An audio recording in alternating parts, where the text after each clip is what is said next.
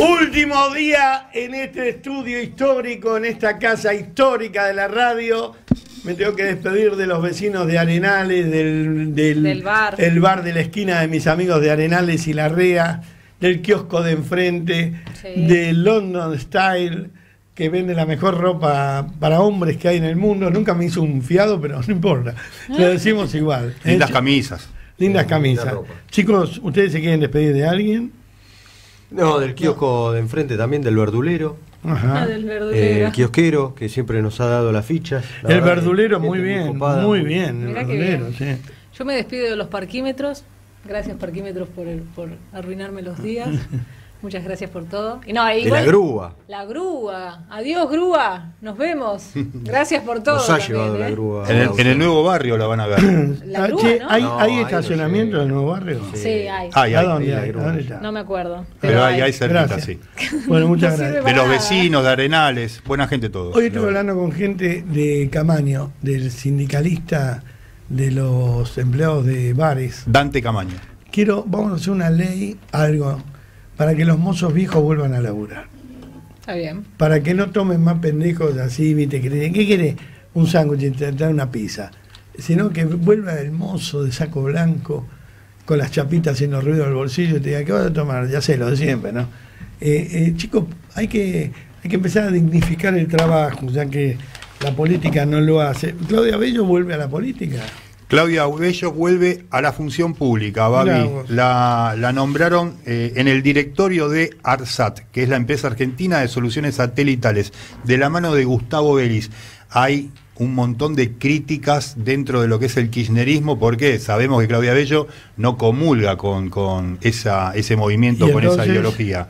Y nada, entonces está puesta en el directorio, vamos a ver cuánto tiempo puede durar en el cargo. Bueno, Hubo, hubo críticas eh, muy directas y públicas de Alicia, de Alicia Castro, ¿quién es Alicia Castro para criticarla? y, pero la criticó. Le dijo, creo que Alberto Fernández interpretó mal el voto popular de quienes lo llevamos al poder. Pero interpretó Alicia Castro tiene que explicar muchas cosas. muchas ¿no? cosas. ¿sí? sus departamentos en Cábana, su íntima amistad con... Bueno, eso es un tema personal. Pero eh, Alicia Castro ya hizo su negocio. Que deje que los demás entren en el paquete.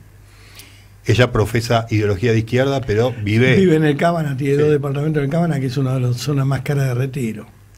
Y saca el perro y dice en el, le dijo a Bebo Granado en el ascensor, mi perro extraña las calles de Londres. Bueno, que vayan a ver Viró, Alicia Castro y todos estos, cómo dejaron al personal de aerolínea.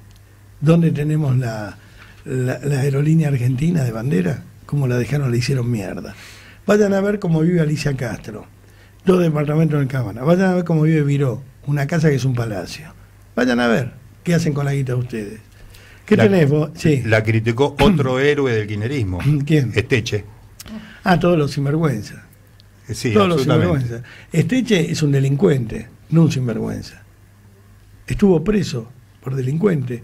Es un agitador público. Es un, es un sinvergüenza. Muy vinculado a los servicios de inteligencia. Sí, en la época de Alfonsín le decían a Esteche cuánta gente había que llevar y romper modar, esto y lo otro, le marcaban dónde. Bueno, ¿qué más tenemos? Bueno, hay mucho que dejó el discurso ayer en Honduras de Cristina Fernández de Kirchner. Una vergüenza. Vamos a escuchar algunos fragmentos. También el conflicto eh, cerca del límite con Chile, el cruce con Chile en la ruta 7 allí en Mendoza. Hoy hablamos con un camionero. Yo quiero que escuches después, más adelante, lo que dijo este camionero de los Moyano. Esto que dicen todos los camioneros son de Moyano, bueno, quiero que lo escuches, Babi. Y además también hay muchos conflictos con Chile, porque las nuevas autoridades de el presidente actual chileno de izquierda, el ministro del Interior, Boric. Eh, sí, el ministro del Interior de Boric, dijo y criticó muy duramente a los jugadores de la selección argentina, porque en Chile, la verdad, para pasar y cruzar, te piden 200 millones de papeles y después mezclan todo, mezclan lo sanitario con la patria y empezaron a criticar y decir estos nuevos funcionarios que los argentinos no respetan la bandera chilena. Yo no sé qué tendrá que ver, pero simplemente porque les pidieron 200 papeles a los jugadores de la selección. Eh, hay mucho en relación con lo que dejó el discurso de Cristina y también estos conflictos internacionales ahora por una cuestión sanitaria con Chile. Emilce, dame los teléfonos. 11 50 26 86 30. 11 50 26 86 30. Y recuerden que por YouTube nos pueden ver, ¿eh? Se meten en el YouTube y ponen Babi Echecopar Oficial. Ese es el canal de YouTube. Babi Echecopar Oficial. Lo estoy pinchando al doctor Sim para sacar el libro sobre el segmento de vida que él lo maneja muy bien. Este, hay una escritora española que lo va a escribir. Eh, nos tienen que enseñar a vivir. ¿Qué ruido que hace esa computadora? Mm. de me- bueno, menos mal que ya. ¿La cambian o nos lleva la mierda esta? Yo creo que la cambian. Bueno, o eso espero. Escuchá una cosa, se la sacan, ¿no? La sacan- ¿No? Va, esta semana- Nadie sabe, va. Sí, vamos, casa nueva, todo viejo, los ¿Quién lo cables. Mismos muebles. Hoy lo vi a, a Figoli que lleva el papel higiénico, tiene medio rollo que había quedado, lo lleva para el otro baño. Bueno, este, la calidad de vida, ¿no? Que estamos dejando tanto de lado. Ayer la escuché a Cristina un poco, en ese lugar lúgubre, con gente lúgubre, esa imagen de procesados, estaba Lugo, esa imagen asquerosa de gente que ha dejado el peor de los recuerdos. ¿Se acuerdan que Lugo, siendo obispo, se había culeado a medio Paraguay? Sí. Este, esa imagen de gente sucia, em, moralmente sucia, esa imagen de, de el club de los perdedores, ¿viste? De, hablar entre ellos, de justificarse. ¿Te acordás, Lugo, cuando hicimos? Sí, nos acordamos todo lo que hicieron. Correa, Lugo, el mismo Lula, ¿no? gente tan desagradable que se juntan en algún reducto desagradable con un presidente electo desagradable a, a- contarse sus miserias como si fueran. Este, Cristina cuenta sus miserias como si fuera éxitos, ¿no? En ese poder verborrágico de revertir y este, de, hacer una, una, una melange de, de la corrupción en, como en, en- en logros. Eh, esa cosa, la veía ayer y veía que está pagando. Yo creo que Cristina sufre más en libertad que en la cárcel porque en libertad va a tener que mentir toda la vida y darle la cara a los honestos. Y yo creo que es la peor pena, ¿no? ¿La puedes apagar? si Estoy en eso. Y, y si no, rompela contra la pared. Eh, ahora, ¿a ustedes les parece que uno puede laburar una radio que hace este ruido a la computadora? ¿Puede venir el pelado Subirat, por favor, inmediatamente al estudio, antes que rompa todo? Bueno, la verdad, digo, eh, Cristina, yo creo que Cristina y Máximo dentro de un año va a tener la peor de las condenas, que es la- el escaño público, ¿no? la condena popular. Porque ayer la veía, a ver, no es lo mismo cuando vos llenás el Teatro Colón a cuando cantás en la sociedad de fomento de Villa Latina. Y vos te das cuenta que fracasaste, que sos un pordiosero, pero decís, no, hoy canto en la sociedad de fomento. Sí, pero ya no cortás una entrada en el Colón. Eso es lo que le pasa a la señora Kirchner. Hoy habla para los perdedores. Hoy habla para Lugo, para toda esa runfla, que en un momento nos hicieron tanto daño que creyeron que se iban a quedar con Latinoamérica. Y como son tramposos y son ricos de izquierda, le vendieron a la gente un sueño americano, de una América libre y poderosa, y al robar tanto, han dejado a la América sucumbir a una América pobre y de rodillas, ¿no? Hoy, los países latinoamericanos son países pobres y de rodillas, dando explicaciones hasta la Asamblea de los Derechos Humanos, porque han cometido todos los delitos posibles, hasta la, la la libertad de expresión. Eh, hoy vemos atónitos los periodistas que no tenemos que mirar para atrás más para hablar como fue en la época de los Kirchner. Hoy presenciamos que afortunadamente nadie te dice en la calle, te dejan decir eso en la radio, como en la época de Cristina, cuando los medios hegemónicos ponían como figurita a Dugan, a, a este otro, el, el chanta ¿cómo es? Navarro. Navarro, a Víctor Hugo. Hoy volvió la palabra y la libertad a la calle, ¿no? Y creo que esta es la guerra ganada. Cuando se pregunta, ¿estamos peor? Creo que hoy estamos un poco mejor, porque los argentinos con esas marchas por las vacunas y todo, hemos ganado la calle. Y hoy, cuando vemos a la señora Cristina, que todavía nos sigue trayendo gastos, porque la verdad que nunca nos trajo ningún beneficio, siempre nos trajo gasto, usa los aviones del Estado argentino para volar a ver a los amigos que tienen la misma perversa ideología que ella, y la vemos con esos discursos pedorros que ni ella se lo cree, porque lo que tiene Cristina es que cuando ella, ella miente o ella habla o ella sabe que está perdiendo o sabe que no es popular, se le cae la cara. No de vergüenza, pero hay un gesto que marca absolutamente toda la derrota, ¿no? Esto es como cuando el boxeador se ríe porque la trompada le dolió. Ella no se ríe, se baja el labio inferior, le cuelga el labio inferior y le quedan los cachetes más afuera. Esto no es peyorativo, estoy diciendo el gesto. Y se le nota que está perdiendo y que lo sabe, pero quiere convencer a los cuatro boludos que le escuchan que está ganando. Yo creo que como la justicia injusta y cobarde a esta altura de la Suareno nos dio una respuesta sobre Cristina Kirchner, que es una nebulosa en tribunales, eh, la calle le está dando le está dando la pena que necesita eh, la justicia, o sea, la vergüenza pública. Hoy Cristina es mal vista en la Argentina. Eso que hizo ayer, esa payasada que hizo ayer, no la puede hacer acá porque nadie le cree. Hoy se transformó en esa mujer que si habla, todo el mundo dice, cambia, cambia que está hablando esta. Igual que Alberto. Hoy cuando lo vemos a Máximo, dejamos de decir, este es el líder de la cámpora, para decir, este es el hijo de Cristina, pobre pibe. ¿Viste la cagada que se mandó el otro día? Demostró su ineptitud y quedó como un inepto en la política. Hoy, afortunadamente, dentro de un año, vamos a empezar a, a ver cómo pagan y van a pedir por favor ir preso porque la calle los va a sofocar. Mirá lo que le pasó a Felipe Solá. No van a encontrar. Y hay una cosa que, que increíble que es la vida. ¿Se acuerdan cuando cantaban los pañuelos verdes?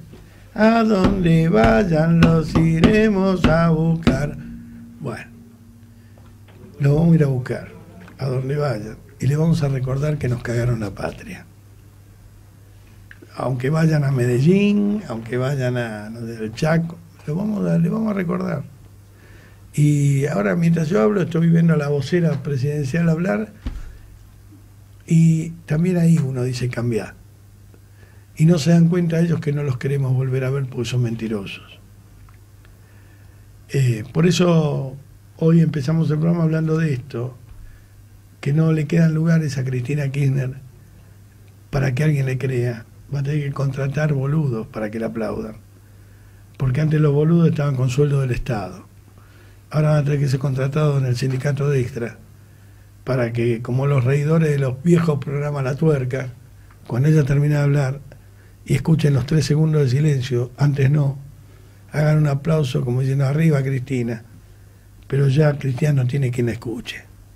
Es una mujer en decadencia total, es una política sospechada de delitos, es una mujer que no se puede defender con nada, que solo le queda juntar un grupo de gente y mentirles y decirles sus historias y lo único que queda es la Cristina que causa risa, como Alberto.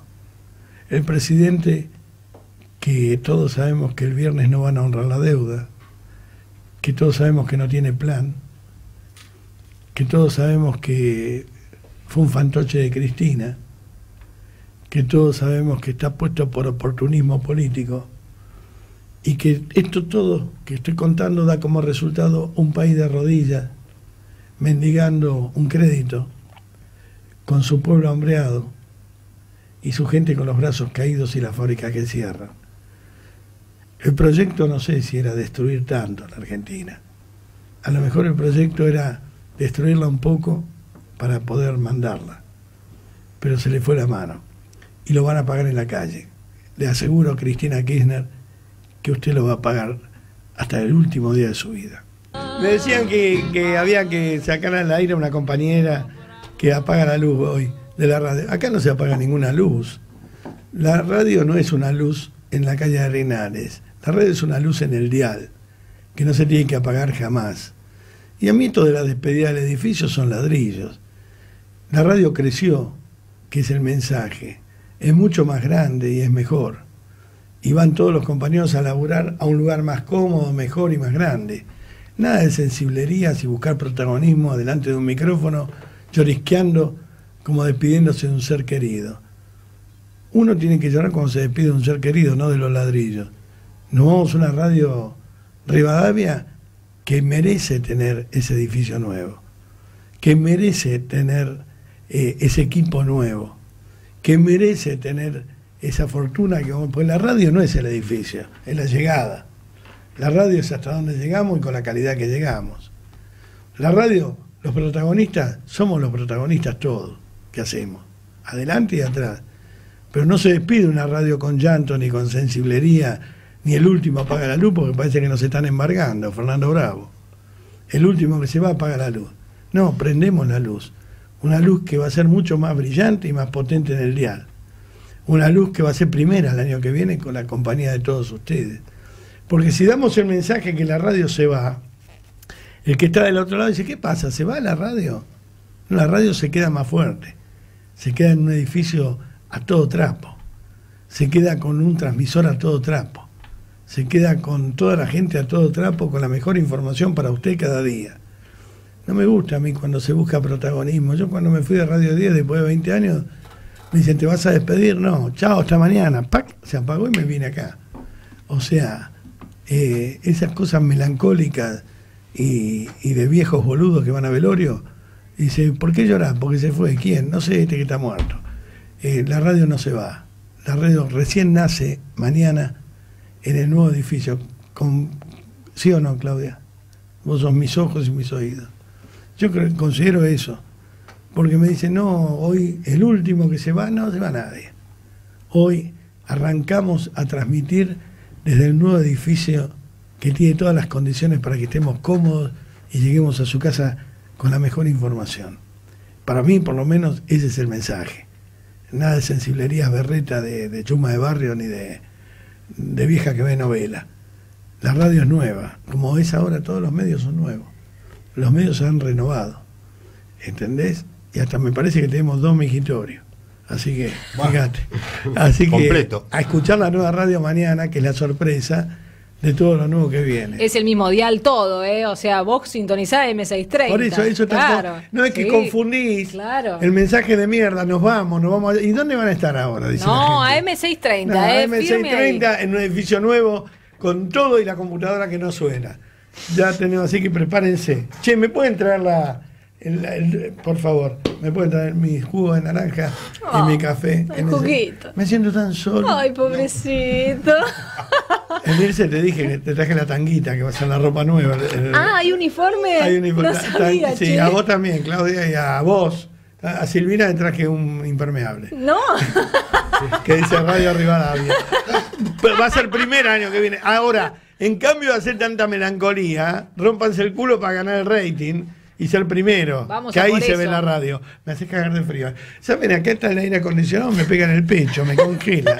Paralo de pecho al aire. La paro de pecho. Toma. ¿Qué tenemos, Benedetti? Sabés que vos estabas hablando de, Cristina y que en el único lugar donde puede hablar es en esos auditorios como en el que está ahora en Honduras. ¿Sabés cómo se llamaba la conferencia que dio? Los pueblos siempre vuelven. ¿sí? Esto lo hace en referencia a la vuelta de esta ola populista, como es el caso de la presidenta que asumió en Honduras y que en la misma línea en que está ella, Lugo, todo lo que mencionaste. Yo pondría, el título no sería ese, sería Los chorros siempre quieren volver. Uh, Viste que dice la justicia, el ladrón vuelve siempre al lugar de los hechos. Los chorros siempre vuelven. Cristina quiere volver para buscar su impunidad. Yo quiero que vaya a la cárcel. Sí. Sabés que justamente hizo declaraciones al respecto sobre la justicia, que ahora no hacen falta golpes militares, sino golpes judiciales, conseguirse. Ahora, qué raro que una abogada exitosa hable así de la justicia, ¿no? Sí. Pero aparte, y qué raro que hable de la dictadura militar así. También. porque la cantidad de departamentos que se compró gracias a la dictadura. A la 1050. Y qué raro que hable de la justicia cuando ella lo manejaba por teléfono Yarvide tenía al, juez este, ¿cómo se llama? Zafaroni. También, el garantista. laburando para ella. teniendo No, no, no. tantos jueces, porque ella tiene más, más abogados y jueces alrededor que, que tribunales. Y pero lo que pasa es que acusa sobre el- la misma estrategia que ella utiliza Claro. para defenderse de sus causas. Gran parte de la justicia actual eh, de Comodoro Pi la nombró Néstor Kirchner y Cristina Kirchner. O sea que la justicia, si te defiende a vos, es buena, y si te mete en cana, es mala. Sí. Bueno. Más parcial que eso imposible. Y además no la metieron en cara. Menos mal que nunca fue jueza, ¿no? Menos mal que nunca fue jueza. No des ideas, Bobby. Sí, claro, te iba Sí. No, decir. no, no des ideas. Nunca. No menos mal que nunca fue jueza. Bueno, ella tiene la idea en algún momento de ser miembro de la Corte Suprema de Justicia. Claro. ¿Te imaginas? Imagínense una, eh, perdón, voy a decir claramente, el que está acusado de delito es sospechoso de delincuente. ¿Vos te imaginás un juez de la corte sospechado de seis delitos, por lo menos, para ir a la cárcel? Vos lo tuviste Bueno, a Zaffaroni. Zaffaroni estuvo. bueno, bueno, bueno, bueno. bueno, pero es de la línea de ella. Claro. O sea, seguimos juntando sinvergüenza. Bueno. Hay, hay audio, ¿no? Ah, de bueno, Cristina. Háganlo. A ver. solidaridad latinoamericana. Fue muy importante. Por eso para mí estar hoy acá es un poco confirmar el título de esta clase magistral. Los pueblos siempre vuelven. No solamente lo recordé con Xiomara, lo recordé también hace pocos días, luego de la elección en la hermana República de Chile. Ahora bien, pensar en esto, los pueblos siempre vuelven, ¿es una categoría de pensamiento político universal? No. Es una categoría de pensamiento político latinoamericano. ¿Y por qué? Porque es muy difícil por allí, en otras latitudes, imaginar estos avances y retrocesos, Héctor, también, porque es cierto que el pueblo siempre está, pero cuando hablamos de los pueblos siempre regresan, lo hacemos desde esta perspectiva, desde que hoy Xiomara Castro de Celaya sea presidenta de la República Argentina, lo hacemos desde la perspectiva que luego del golpe militar contra Evo Morales, el MAS, a través de Lucho Arce, su presidente, haya vuelto a la presidencia. Porque la historia de nuestro continente es una historia de avances y retrocesos. Desde el fondo de la historia, de cuando fuimos colonizados por las potencias europeas, Sí, esta pavada la escuché ayer en vivo. Tremendo. Este, es una sinvergüenza. Realmente, con todo respeto, digo, la investidura. Señora, usted es una sinvergüenza. Usted no puede decir lo que. Usted no puede armar la historia alrededor de su, de su ineptitud y de su falta de respeto al pueblo. Este, realmente me da vergüenza ajena escucharla. Ir a mentir a ese lugar y gastar un avión que podría ser sanitario para que la lleve a decir esas pavadas. Con todo respeto, eh, lo digo. Pero usted tiene seis causas penales. Ah, Usted está tapando de la boca a todo el mundo para que no hablen porque va presa. Alguien se lo tiene que decir. ¿De qué está hablando? A ver, seguimos. se alzaron contra esos procesos de colonización, primero los pueblos originarios, Lempica, Tupac, Amarú y tantas otras rebeliones y revoluciones indígenas, que sin embargo fueron aplastadas. Y más tarde esa lucha contra el colonialismo directo de las potencias europeas en el continente americano, finalmente eclosión en el siglo XIX con las gestas emancipatorias del general San Martín, del general Bolívar, del general Morazán. Verdaderos libertadores. Es una liberación política, pero hecha con armas. Porque primero habían sido derrotados políticamente, la gente no quería vivir más en la colonia. Y finalmente estos grandes hombres, estos grandes libertadores, La señora se olvida, por ejemplo, a San Martín Bolívar lo echó. Esta señora se olvida que pasaron 200 años. Esta señora se olvida que ninguno de ellos murió en la riqueza, en la opulencia, ni escondiendo plata en bolsas. Esta señora está hablando de héroes a los que ella no serviría ni para ilustrarle los vasos a los caballos. Esta señora cuando habla de San Martín, cuando habla de Moranzán, cuando habla de, de Bolívar, tenía que limpiarse la boca. Porque si alguno de ellos hoy estuviese vivo, la hubiese pasado por las armas. Porque cuando uno le roba a la patria es un traidor a la patria. Porque cuando uno le roba a la patria, le roba a los jubilados, le roba a los pobres. Ninguno de ellos tenía hoteles en el sur, departamentos en Puerto Madero, casas por todos lados. Ni ninguno de ellos, creo que a las hijas de San Martín le dejó sus medallas.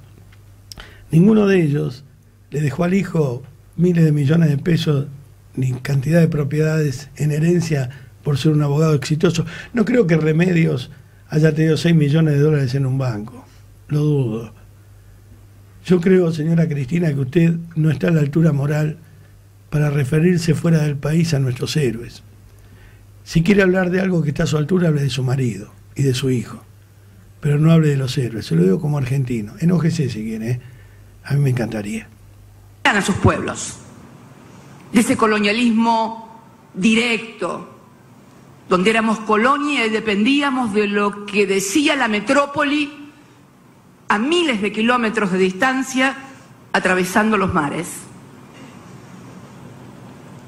Fíjate, Héctor y todos los que hoy estamos acá, desde aquellos pueblos originarios que habían sido aplastados, a estos hombres que muchas veces tenían un origen europeo y habían sido formados en academias militares, en universidades europeas. Chico, bata, ya la bancamos muchos, 20 años, déjame romper la pelota con esto. Yo le voy a decir algo. Eh, la pregunta que le hago a todos estos giles que hablan de la colonización. Si acá no nos hubiesen colonizado, andaríamos con la pluma como usted quiere, Guyonaguala. ¿Le parece a usted que en un mundo que ha llegado a la estratosfera, que viven en la luna, nosotros teníamos que andar con el taparrabo? ¿Qué hubiera pasado si nos colonizaban los europeos?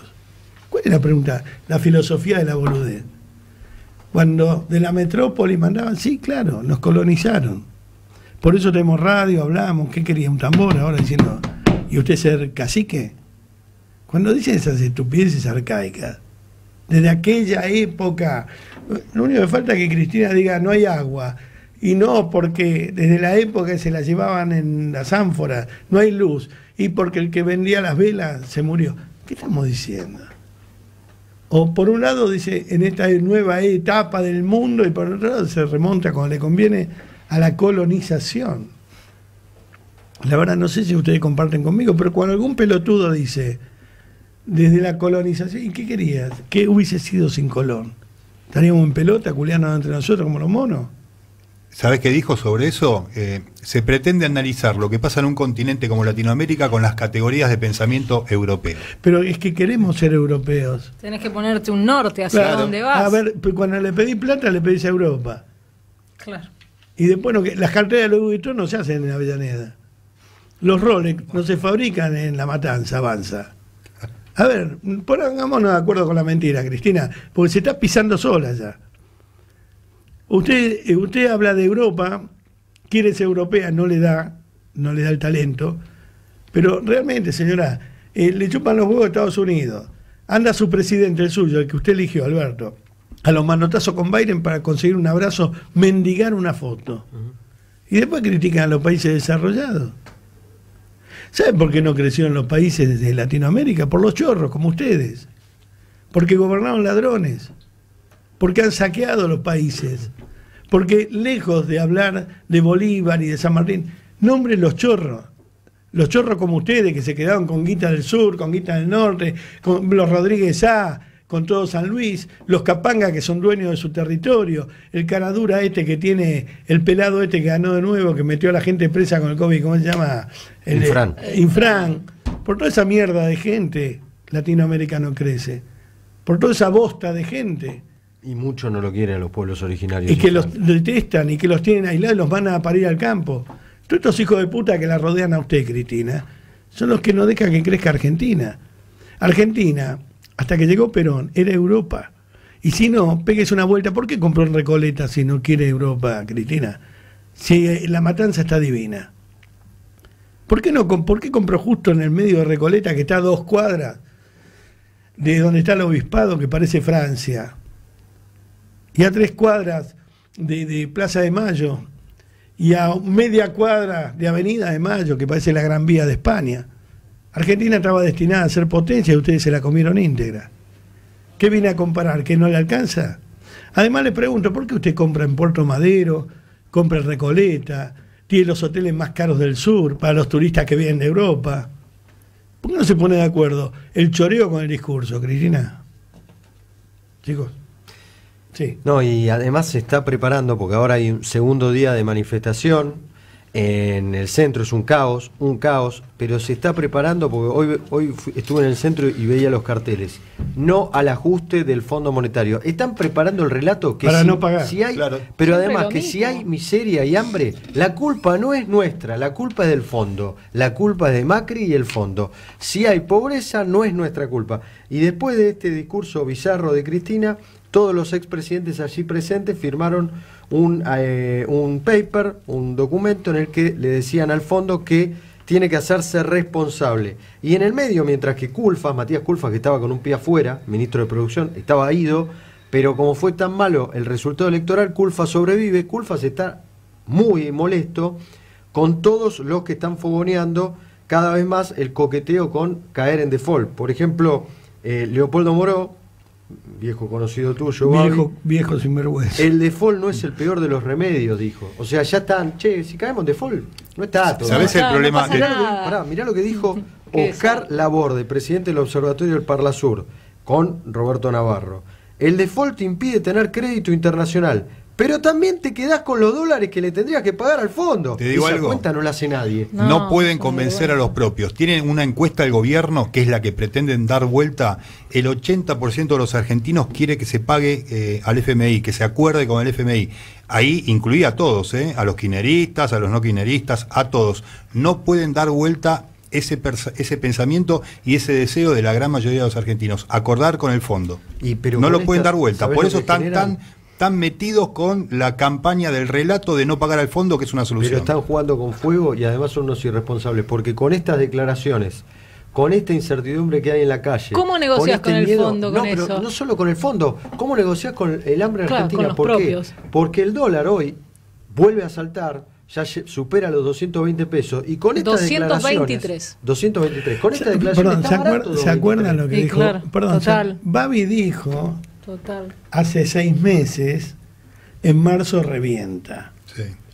¿Lo dije o no lo dije? Sí, lo un mes y unos Ah, días. chicos, el dólar se va a la mierda. ¿Lo dije o no lo dije? Lo dijiste. El gobierno nos miente y no tiene para pagar y no va a pagar y no va a cumplir la deuda. Y la forma de ser cagador es hacerse comunista. Entonces vamos con los países de cagadores para no pagarle a lo que le debemos. Por eso el discurso de esta señora que sabe mentir muy bien fue Europa, para que cuando nos separemos de Europa y seamos Venezuela, digamos, estos son los que nos conquistaron, nos mataron los indios, nos mataron. Entonces no, la gente quiere pagarle al fondo. Nosotros queremos crédito, queremos ser un país honesto, no ladrones como los que nos gobiernan. Eh, Y siguen jugando con fuego en un contexto en el que están las tropas rusas a, segundos de meterse en Ucrania y en generar una de las guerras eh, a la vieja usanza, en el que se van a meter territorio por territorio tomando ciudades y en el que el mundo ha tomado una decisión. La OTAN está contra eh, Putin, eh, Estados Unidos se planta fuertemente y la Argentina otra vez ¿qué hace? Neutra. No, no, quedamos con Rusia. Otra Sí, vez quedamos pero- con Alemania. pero por- Sí. por- Otra vez. por otra vez, sí. Pero eh, de una manera eh, cobarde, porque también vas y pedís la foto con Biden. Bueno, Sí, no se va a Perón, Argentina. Perón salió a favor de Alemania y los últimos 10 días creó el batallón X para salir a favor de Estados Unidos. Estados Unidos dijo, "Anda la puta que te parió. Ya es tarde, murieron 60 millones de personas. Ahora estamos con los países comunistas, cuando la OTAN aplaste, nos van a decir ahora qué quieren, la deuda y ahora tienen que pagar los intereses, los intereses, los intereses. Chi- chicos, este gobierno es un desastre. Les vengo diciendo, así como le dije que el dólar se iba a 2.40, que volvía el brote con todo, Sí. que tienen un quilombo con las vacunas que no saben ni a quién vacunaron, que están haciendo negocio con la vacuna, con los hisopados, que hicieron un negocio con los barbijos, que son unos caras rotas, les digo, ahora si se agarran en Europa, las víctimas somos nosotros. por este gobierno de pelotudos irresponsables, chorros y sinvergüenza. No hay otro calificativo. ¿eh? Basta de investigar a ver si son vivos o son muertos. Son un desastre. No, y en el medio. Hoy todo música francesa. ¿eh? ¿Cómo Oui. me Este año me voy a ir a Francia en junio. Ah, a, mirá la qué lindo. peloti- a la A pipetoa. la Pipetoa. Vamos. Bueno, ¿qué tenés? Vamos, vamos. Los llevo a todos. ¡Todos a Francia! ¡Vamos! Ah, lo hacemos allá. Muy 15 bien. días en Europa. Se vamos. nos dio. Te pago todo. El dólar a Pensamiento más. 2.30. Ahora que no sé si vamos a poder viajar a Europa, porque si hay Uy, guerra, no, si hay guerra, te cagas. Es Ah, verdad, eso es eso es real. Y además tenés el- la complicación de que si querés sacarlo en cuotas no podés, somos muchos. Yo no creo que puedas pagar en un pago, Babi. Un pago para, ¿cuántos somos? Siete. Siete a Acá París. hay mucha guita. Mucha. Pero Sí, si puede bueno, pero Volnovich. hay. Acá Ah, en, bueno. estoy escribiendo a mis hijos. Bueno, ¿qué tenés? Volnovich es un desastre. Ayer tuve una denuncia del PAMI, a ver, para que la busco porque no, no mi hija. Una denuncia. eh, Una más. Una más Sí, y no jodemos más. Es un desastre como está el PAMI, acá está. Mira. Bueno, te la mando y la lees para Emilce. A ver, Mira, para el dólar 97, no, son todas malas noticias. Uh, bueno, sigan ustedes. Sabés que hubo mucha repercusión por la entrevista que le hicimos a Vidal, Babi. ¿Ah, sí? Saltaron los medios hegemónicos oficialistas a criticarla, pero eh, de, de arriba abajo.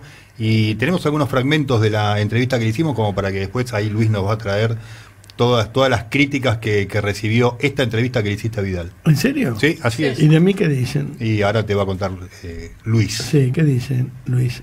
Mira, Babi, lo que pasa es que la oposición creció y cuando uno es más grande, la mesa es más grande y es más difícil ponerse de acuerdo. Es bueno que hayamos crecido, nos tenemos que ordenar, tenemos que mejorar cosas, creo que estamos camino a eso eh, y eso se va a ver en estas extraordinarias que está convocando el gobierno, donde vamos a tener posiciones unificadas eh, y posiciones tomadas. Eh, eso no quiere decir que no haya tensiones, que no haya ruido, somos muchos, eso es bueno, que seamos muchos, se incorporó López Murphy. Eh, se ¿Qué se incorporó están gritando como un conventillo? ¿Caquera? ¿No quería escuchar a Vidal? no, no, no, no, pará. Sí, te voy a decir una cosa que me pasó de vacaciones. A ver. Vos no podés ni hacer editoriales Sí. ni manejar el programa. Quédate ahí. Ya cuando aprendas te van a dar los sábados, a lo mejor otras noches, una hora, pero deja de romper la pelota con la gente. Sí. Vidal habló y Se la criticaron, la criticaron porque, según, yo no recuerdo que lo haya dicho en el programa, pero los medios K dicen que Vidal reconoció que existió una mesa judicial para perseguir sindicalistas. ¿Lo dijo acá? En ningún momento lo dijo. No, lo que dijo fue esto que vas a escuchar que tiene que ver con el Pata Medina, que dijo que era un delincuente. Es un delincuente. Pero eso significa que haya reconocido que la- lo perseguían. No. No, lo que. Pará, yo voy a explicar lo que dijo, porque de eso laburo. Yo le, le pregunté, no, le- alguien le preguntó, no sé cómo fue, y dijo, bueno, no dijo, hubo una cosa de escucha. Acá quieren decir que no fue un delincuente el Pata Medina, el- lejos de todo, el Pata Medina fue un delincuente. La pregunta era eh, que, que cómo veía la situación que el juez Kreplak, Kreplak había pedido su agenda personal de Sí, teléfono. y dijo que hagan lo que quieran, que Eso dijo, lo que quieran. Esto es lo que dijo. Sí, a ver. A ver, si hay algo que Morales hizo, y en eso lo reivindico, es que él nunca cedió a las presiones que Alberto quiso y su gobierno hizo para que se liberara Milagrosa. Y en eso fue firme desde el primer día de su gobierno y lo sigue siendo. Digo, y ha sido muy claro, y Milagro Sala no es ninguna víctima, por más que la vayan a visitar los ministros del Es Ejecutivo. una delincuente, es una delincuente, lo es sabe toda la Argentina. recomiendo a todo el mundo que no vio el documental Jujuy desoído que lo mire. Y ahí, escuchando a las víctimas de Milagros Salas, eh, se va a dar cuenta que- qué clase de delincuente era Milagros Salas. Ya esto, demasiado tenemos con que traen a John Aguala, aparece de nuevo a la Argentina, otro delincuente más igual que Milagro No, Sala. Mecánica, hay una mecánica, Babi, que es convertir a los delincuentes en víctimas. Milagros Sala es una delincuente, Joan Esgual es un luchador mapuche, eh, Vudú es una víctima y se compró la máquina de hacer billetes, eh, el Pata Medina eh, es una víctima de mi gobierno. Todos son víctimas y eran todos mafiosos, millonarios, no pueden justificar sus patrimonios eh, y está y todos sabemos. Con una jefa a la cabeza, convengamos. Entonces, digo, está claro que la Está estrategia... bien. ¿Qué di- ¿Y qué dicen? Contame. Eh, ¿Quiénes son los medios hegemónicos? Acá hay que dar todo, nombre, no nos cuidemos de nada, chicos. lo- los medios hegemónicos, bueno, este, C5N, eh, algunos otros canales satélites, Ah, Página 12. El portal de Navarro, tal cual. ¿Qué que dijo el hablaban Navarro? del reconocimiento de Vidal a la mesa judicial. Y de mí, M. ¿qué dice? A mí me importa un carajo. Lo mío, ¿qué dicen? Sí, sí, la, opera- la operatoria. Nada de mí. La- Entonces la- está bien que la critiquen. No, Eh, y que, no, que, que- ¿cómo fue la cosa? que había reconocido con vos que el Pata Medina había sido una víctima de su gobierno, Nunca pero lo dijo dijo en un. No sentido irónico. eso, claro. Ahora qué van a decir? No, lo que dijo Vidal fue no son víctimas, son delincuentes. Eh, Justamente. Que el kirchnerismo tiene la costumbre de poner a los delincuentes como víctimas. Son todos vos, vos en el kirchnerismo te afanás un banco y sos un perseguido político. Bueno. a eso se refería. Lo que pasa es que Claro. agarraron esos dichos y lo utilizaron como si hubiese sido. No, literal. chicos, no, le digo a los compañeros de C5N, página 12, todo. No, lo que dijo Vidal es que el kirchnerismo hace pasar a los chorros, a los sinvergüenza, como Milagro Sala, como Vudú, como el Pata Medina, como víctimas. ¿eh? Ustedes se confunden a veces. Bueno, ¿qué más? Alberto Fernández, eh, bueno, va a estar en la presentación de los Juegos Olímpicos de Pekín. Ah, mira ¿sí? Eh, ahora, ¿qué pasa? ¿no? Eh, va a ir a Rusia primero, después va a ir a China, todos países comunistas, como venimos hablando. No le falta nada. No le falta nada. ¿Sabes que a estos Juegos de Pekín le, le van a hacer un boicot diplomático? Estados Unidos y, y otros países, Australia, Reino Bien, Unido, Alberto, Canadá. bien, Alberto, eh, ¿Por qué? Por denuncias de violación a derechos humanos Claro. específicas que tiene China. Van a permitir que sus eh, atletas compitan en, en- en estos Juegos Olímpicos, pero a la presentación no van a ir. ¿Qué va a hacer Alberto Fernández? Va a estar presente en la presentación de los Juegos Olímpicos de China. Y por supuesto que los chinos están contentos y felices de tener un aliado más. Unos boludos que van. Claro, es un momento, como decíamos antes, ¿no? que la OTAN está completamente firme del lado del mundo occidental en contra de Putin y la, la Yo avanzada. te, yo te explico una cosa. Sí. Un país, que es lo que yo veo que está pasando y no pasa. El tema no es, estamos con China, estamos con Rusia. Nos preguntaron si estamos. O sea, yo no quiero estar ni con Estados Unidos, ni con Europa, ni con China, ni con Rusia. Entonces, estamos aliados de China, Rusia. Yo no quiero estar aliado de China. Te llevan a la fuerza, Babi. Claro. Porque tienen conveniencias con Pero esos ¿te das países. cuenta que es una dictadura? ¿Te das cuenta? Porque yo no quiero ser socio de los rusos ni de los chinos. Quiero negociar, sí, pero aliado con ellos, no. Sí. Entonces, ¿quién manda? Esto es igual que cuando Perón salió a favor de los nazis, porque venía el oro nazi a la Argentina. ¿eh? El karma de los argentinos, que nos va como el culo, es porque mucho del oro que lucen las mujeres en el cuello tiene que ver con los dientes de los judíos de Auschwitz. Porque el oro nazi llegó a la Argentina, está sucio, oro podrido. ¿Entendés? Y lo trajo Perón. Acá vinieron a refugiarse. De hecho, Córdoba, este, Bariloche, eran un pedazo de la Alemania nazi. Hasta se cuenta que Hitler pudo haberse refugiado acá. Y ahora salimos a favor de Rusia, de China, eh, pero nosotros en las inundaciones salimos a favor del agua. Escuchame una cosa, eh, estamos locos. Y pero son los negocios del gobierno, Babi. Pero son con Rusia, pero- el acuerdo con las vacunas. Pero te digo, ellos negocian con los que nadie quiere negociar. Ayer esta mujer fue a hablar con los que nadie quiere hablar. Entonces, bueno, su marido era tuerto, ¿no? Y en el país del ciego el tuerto es rey. Ellos van a hablar a los países de los ciegos. Entonces dicen boludeces y seguimos haciendo zaraza y la deuda no se paga y juegan con el Fondo Monetario, que el Fondo Monetario es una mierda, pero si era una mierda no lo hubieran pedido 100 veces porque no le pidió Macri solo. En la historia se le pidió toda la vida al Fondo Monetario.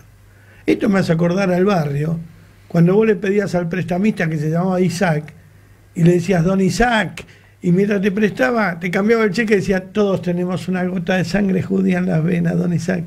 Y cuando no le podías pagar, decía, este ruso de mierda me llama todos los días. Esos somos los argentinos. ¿Entendés? Esos somos los argentinos. Ahora el fondo es una mierda, pero cuando te tenés que bajar los lienzos para que te presten, le vas a ir a pedir. Si nosotros fuésemos un país que hubiese estado alguna vez gobernado, que nunca estuvo, siempre hubo chantas en el poder, que no es lo mismo que un gobierno, hubiésemos estado a la altura de las circunstancias, con el trigo, el maíz, la soja, las vacas, la industria, podíamos haber tenido plata sin necesidad del... Pero ¿qué pasa? que esa guita de los impuestos se la afanaron los políticos argentinos.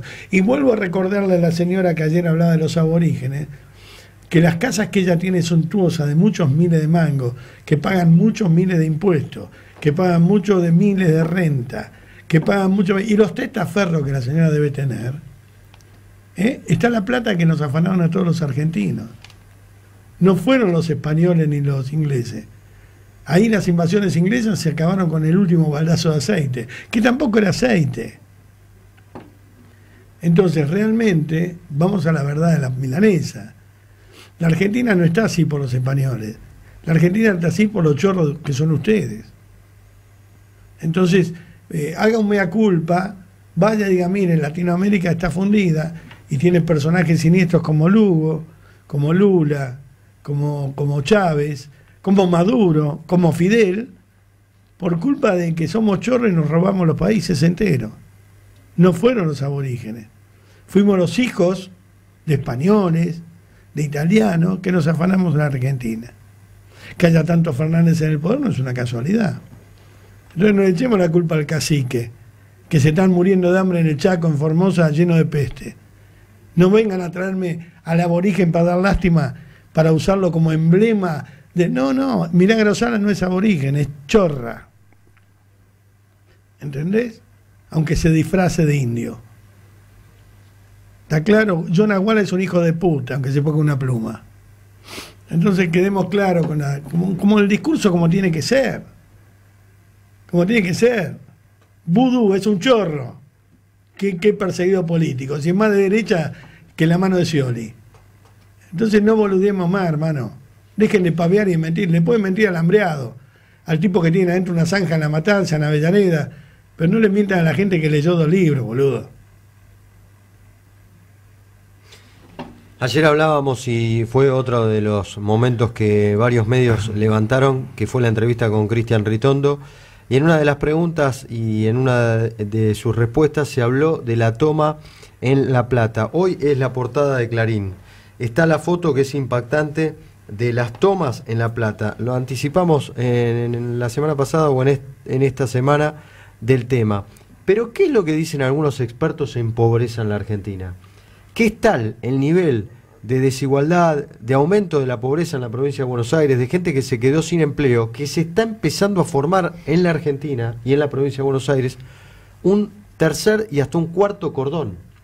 Oh, el primer cordón, eh, cruzando la General Paz, es eh, el que tiene más recursos de servicios públicos. El que hay algunos barrios complicados, pero el más pobre es el segundo cordón. Ahora se está empezando a formar barrios, asentamientos en las zonas rurales, en las zonas que van desde la ciudad de La Plata hasta las ciudades más cercanas a eh, la General Paz y el primer cordón electoral, eh, el primer cordón eh, de la provincia de Buenos Aires. Se está empezando a formar otro cordón mucho más pobre y que se genera una pelea de pobres contra pobres, porque el pobre del barrio de Los Hornos, en los barrios cercanos a La Plata, no tiene los recursos naturales, no tiene agua potable, pero paga su impuesto. Y ahora te llega uno que es más pobre todavía y que no puede seguir pagando el alquiler en la villa durante los gobiernos o, barrio popular, como se tiene que decir en este momento, porque si no me cae el INADI, y que no puede pagar eh, el alquiler de la villa, eh, Donda sabe que las villas existen, no se le puede decir villa. No se le puede decir. A la pobreza se la tapa con una frazada, no se la encuentra. Exacto. Donda, la, la, idea es cambiar al negro por no blanco, a la villa por barrios qué? Barrio popular. Barrio, Mentira, villa, cagan en un tacho, no tienen para tomar agua potable. Están hechos mierda y nadie piensa en ellos, Donda. Anda, metete en la villa para ver lo que es. ¿Y por qué es noticia otra vez? Porque el ex jefe de gabinete de Axel Kisilov, el señor Blanco, ¿te acordás? El que decía que éramos nazis, salió a responderle a Diego Santilli, y porque opinó de esta cuestión, al igual que Ritondo, ¿y qué es lo que dijo? Santilli es un porteño que recién ahora está empezando a caminar la provincia. Mientras tanto, hace dos años de gestión y cada día hay más barrios populares, villas, asentamientos, tierras tomadas, tierras tomadas Moreno. que se están formando. Eh. Bueno, ¿Qué? Sobre esto justamente a- eh, hicieron un proyecto en, en el Congreso, Ritondo, Vidal, bueno, varios, varios diputados, porque hay 250 hectáreas tomadas en 40 tomas activas, dentro de lo que es el alrededor de La Plata nada más, ¿eh? solamente ahí. Y eh, es cierto, la inacción de Kisilov es tremenda, permite que tomen, que tomen, que tomen terreno, pero era como decíamos ayer, Babi, están poblando la zona para ver si pueden ganar La Plata, que es como la joya de la corona de la provincia. También es un desastre la inseguridad, matando gente, arrancando las uñas a la gente, pegándole a los viejos. eh, ya es cruel. Este, y no hacen nada. Ustedes son jóvenes, no vieron Los Aventureros, la película, ¿no? No, Con Alain Delon, no. No. muy linda. Muy linda película, muy linda. Tiene que, esta es la música, Leticia. Ponela, ponela. et tu reposes dans le bleu de la mer. Toi ¿El actor americano? qui colore de ¿Eh? bleu nos ¿El actor americano? Ningún actor americano. Era el que era boxeador. eh, Nino Benvenuti, creo que. No, no, no. No, a ver que la gente me ayude. ¿Quiénes eran los protagonistas de Los Aventureros con Alain Delon? ¿Quién? 11 50 26 8 6 Sí, 30. a ver si me recuerdan, porque yo perdí después del COVID se me fue la memoria, en serio. ¿eh? Ay, es bravo Me eso. olvidé un montón de cosas. Este, Hay que volver a ejercitar el valero. Lino Ventura. Lino Ventura, que era, fue boxeador además. Alain Delon y la chica era Jen Gabán, no, no. Joana eh, Gincus. Ah, sí, nadie ¿Puede ser? Sí, Sí. bueno. María Aurelia Bisutti. Escuchan que después quisieron hacer una remake con María Aurelia Bisutti, con eh, Norberto Baroldi, que era el Jean Paul del mundo argentino, y con un petizo que no me acuerdo quién era, que se filmó en Casa Pueblo, en Punta del Este, una cagada. Como todo lo que hacemos nosotros. Una mierda, una imitación berreta. Bueno, eh, ¿qué tenemos? Déjame contarte eh, cosas que están pasando Sí. En la salud, que es, es muy problema, es un problema. Ya viste que ya No, venimos hablando de lo Vamos a hablar de antes. Lu- Luana Volnovich. Volnovich estuvo paseando por México, lugares caros, paradisíacos, mientras los jubilados se cagaban de calor, sin luz, hechos mierda y con una miseria de pensión y un PAMI que no los escucha. Sí, en el hospital Mil- Milstein de PAMI, como recién decía Babi, no están internando a los pacientes con cirugía programada porque no hay sábanas. O sea, Ah. Mirá, no Luana, mirá. hay sábanas. ¿Cuántos pasajes a, a? A México, claro, claro.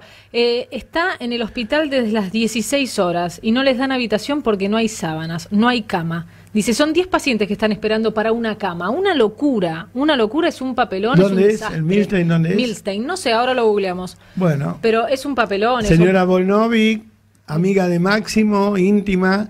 Bueno, no, no puedes hacer eso con la gente. claro. No se puede. A mí cuando me dicen, eh, ¿cómo es la historia de ustedes? ¿Para quién labura? Para la gente. Ah. Para la gente. Para la gente. Usted vive en Martínez, haga una gauchada. En la esquina de mm, Las Heras y Vicente López hay una garita con un gordito. Un chico con capacidades diferentes, ¿no? Eh, yo le estoy dando una mano. Pero usted también. Si pasa por ahí y tiene ropita para. Tiene un hijo de 13 años, pero si tiene ropa chiquita, juguetes, autitos, este, ahí los está esperando la garita del gordo. La Rioja 951, Hospital Capital Federal. bueno, Sí. eh, mira qué bien, no hay sábanas, qué bien, lo felicito, ¿eh? Seguimos, seguimos en Cuba. En Cuba, amigo. Seguimos en Venezuela, amigo, no hay. Y veraneamos en México. Una vergüenza. son unos caras Una vergüenza. Eh, escúchame, nena, ¿cómo se llama esta? La del la, la- la de-. No, la otra, la que cagó a la empleada doméstica. Eh, Donda. Donda, Victoria. Dona, en cambio de desaparecer a Babi, ¿por qué no vas y llevas sábanas acá? Que eso también tiene que ver con la discriminación del que no puede pagar una obra social.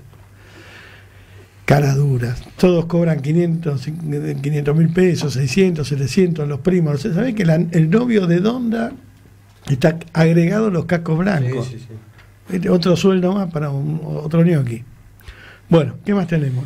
Para completar el dato de la visita de Fernández a China y a la inauguración de los Juegos Olímpicos, sabes que le va a pedir al gobierno chino, va a ser una de las cosas que va a negociar, una ampliación del swap de monedas por un valor de 3 mil millones de dólares. Esto te da la pauta, Babi, de cuál es el costo de por qué tenemos que ponernos de ese lado de la frontera. ¿Por qué? Y justamente porque eh, estamos tratando de buscar recursos de parte de Rusia, de parte de China, Pero nosotros, a rompiendo ver, el acuerdo con el fondo. Ya- llamame a Aguilar, llamame a Aguilar. Nosotros tenemos deuda con China, ¿vos sabías que no somos tan amigos de China? Tenemos un swap de eh, 20 mil millones de dólares. Ahora Diego Aguilar nos va a explicar cómo está la relación con China, que él es un tipo inteligente y sabe.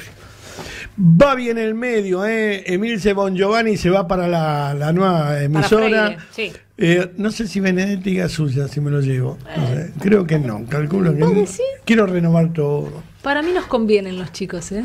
No, ¿sí? Sí. Y lo dejamos. Bueno. Producción Gonzalo Benítez Cruz, Sí. Dalila Alvecchio y Silvina Carreras. Operadora Claudia Estupia, mi querida Claudia, y redes Eliana Bertón. Espera, vamos al rotativo del aire de Radio Rivadavia. Bueno. Bueno, muy bien. Tengo un amigo que sabe del tema y siempre lo consulto porque es un- una persona muy culta. A ver. Diego Velar, ¿cómo estás? ¿Qué tal, Babi? Un gusto, como siempre. Como siempre, un gusto hablar con, con vos. Eh, Diego, una pregunta para empezar. ¿Cómo estamos con China? ¿Están amigos? Bueno, mira, China es un socio muy importante de Argentina.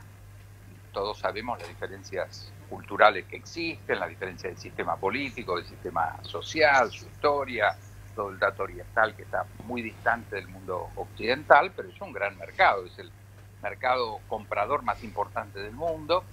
Es el principal socio de Estados Unidos con todos los conflictos que tiene, es el pri- el principal socio de Alemania, es el principal socio de Chile, de Uruguay, de Brasil.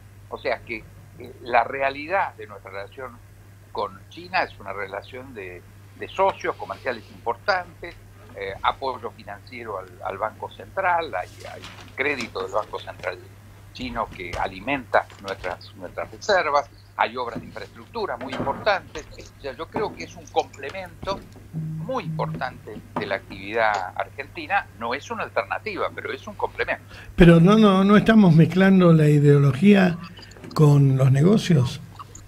No, esto puede ser que lo haga alguna gente en el gobierno, en, en una mezcla que no hace que no hace China. China es el principal socio de 130 países en el mundo sobre 190 eh, de las ideologías más variadas, de izquierda, de derecha, de centro, de África. No, porque acá pareciera, ah, no sé si vos explícamelo, yo no entiendo.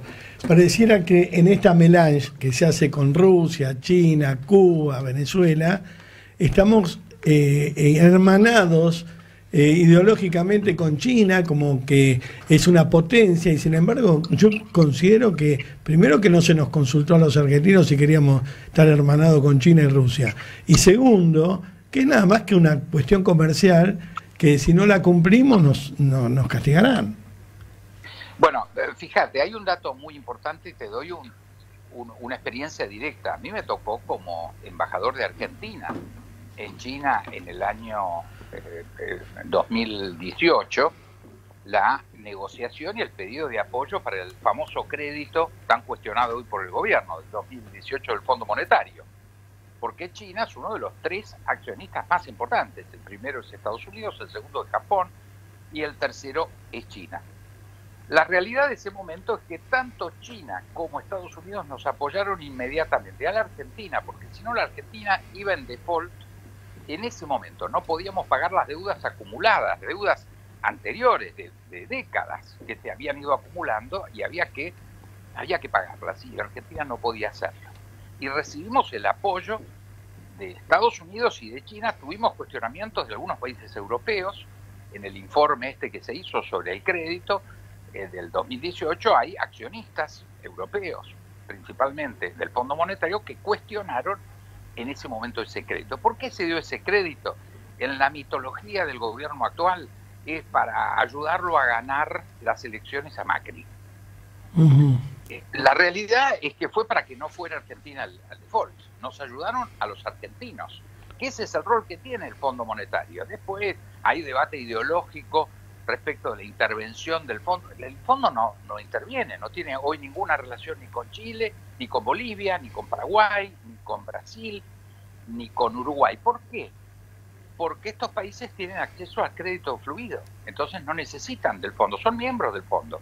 Si tuvieran Dios no lo quiera, un problema como el que tiene Argentina, tendrían que recurrir al fondo y el fondo seguro los apoyaría como apoyado a otros miembros. Nosotros somos socios del fondo, muy minoritarios, ¿eh? pero somos socios del fondo. Entonces, toda la construcción de, de un debate ideológico, de una intervención, de programas impuestos por el Fondo Monetario, todo eso es mitología y mentira. Creo que en esto hay que, hay que ser muy claros. Guilar, eh, buenas tardes, Luis Gasulla lo saluda. El gobierno, el gobierno argentino, Alberto Fernández, en teoría aseguran, ya le habría dicho a los Estados Unidos que posiblemente no paguemos el viernes los intereses de la deuda.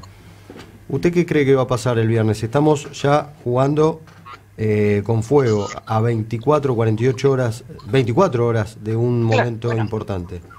La verdad no tengo ninguna información. Lo que sí eh, tenemos que aclarar es cuál es el gobierno argentino. Yo me guío por la carta, ahora que la vicepresidenta, que es la jefa del gobierno, que sea vicepresidenta, eh, se comunica por carta, forma epistolar.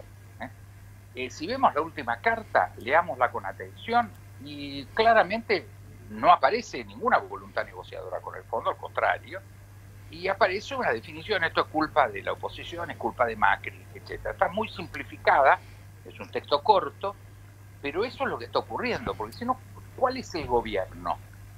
Y esto es lo que no sabemos en la Argentina. ¿Dónde está el gobierno? El presidente es presidente de la República, es el presidente del Partido Justicialista, pero no es el que manda. Entonces estamos en una confusión muy grande, muy poco constitucional, muy poco sana desde el punto de vista psiquiátrico, ¿eh? porque eh, nosotros tenemos un Estado de Derecho, en base a eso se eligió un gobierno en el 2019, hubo una elección de medio término legislativa en el 2021, donde el gobierno pierde 5 millones de votos, es eh, la ciudadanía castigó severamente los primeros dos años de la administración del Frente de Todos, pero pareciera que no pasó nada.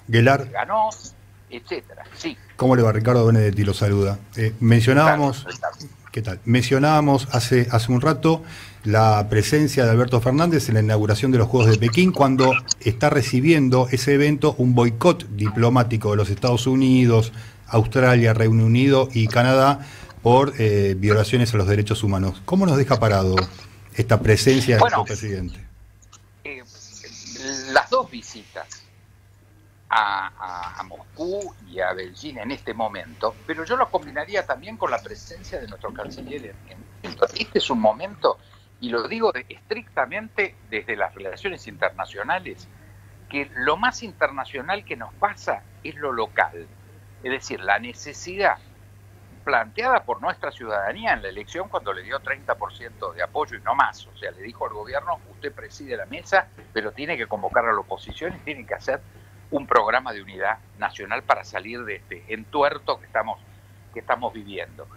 Eh, esto este es el escenario, deberíamos haber estado trabajando como mínimo, yo diría de antes, pero al menos desde ese pronunciamiento intensamente técnicos del gobierno, de la oposición, independientes, para armar el programa que nos diga primero los argentinos, como recién decía Babi, parece que estuvimos a 24 horas de un de un default y no sabemos qué nos pasa, dónde estamos parados. Claro, yo lo que, Diego, Diego, lo que yo veo es que esto es como hacer una película. Mira, me hace acordar mucho a Contrafuego, que yo, eh, me echaron la culpa, pero yo trabajaba, nada más producían otros y dirigía a nadie. Que un día llego a, a grabar a la noche, después de haber trabajado en la tele, cansado como un perro, estaba con Juan Carlos Galván, el actor, y había una chica tirada en Palermo como que la habían matado. Yo era policía llego y le digo, dice, bueno, bueno, grabemos, grabemos. Le digo, pará, pará, pará. ¿Por dónde entro? Y qué sé yo, por ahí. Y salió todo mal. Entonces digo, no se puede ir escribiendo el libreto mientras se va grabando el capítulo. Y lo que noto es una desprolijidad que ya no tiene parangones. Y yo lo que siento es que miente, miente, miente, miente, miente, y ya se terminó el miente, miente, se acaban los tiempos, se acaban los plazos, sube la presión y no veo que el gobierno tenga respuesta y, estoy preocupado.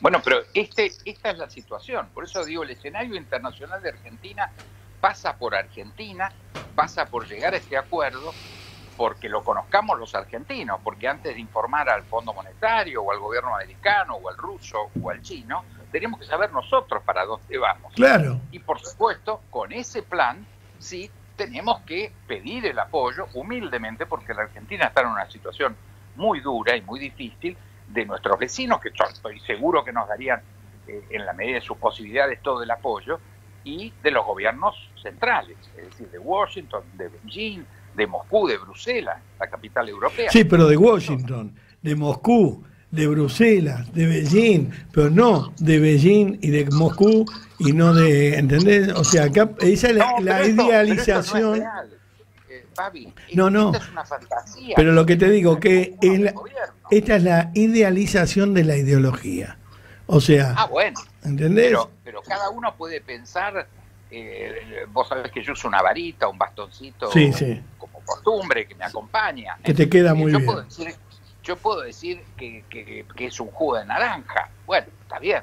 Obviamente cualquiera que piense que mi bastón es un jugo de naranja eh, va a decir que el ar está un poquito pirucho. ¿no? Claro. Ahora, eh, entonces cada uno puede pensar lo que quiere. Ahora, fíjate un dato curioso. Mi sucesor en, en Beijing, el embajador Sabino Vaca Narvaja, eh, eh, hizo una declaración hace tres días puntualizando lo mismo que digo yo. China es muy importante para Argentina, pero no es una alternativa y China es un miembro muy importante del fondo. O sea, no hay un mundo del fondo y un mundo de China. Por Claro. eso te hice referencia al apoyo central de China al crédito en el 2018 que ahora estamos refinanciando. Entonces, acá alguien le tiene que... eh, no puede ser que no haya nadie en el gobierno.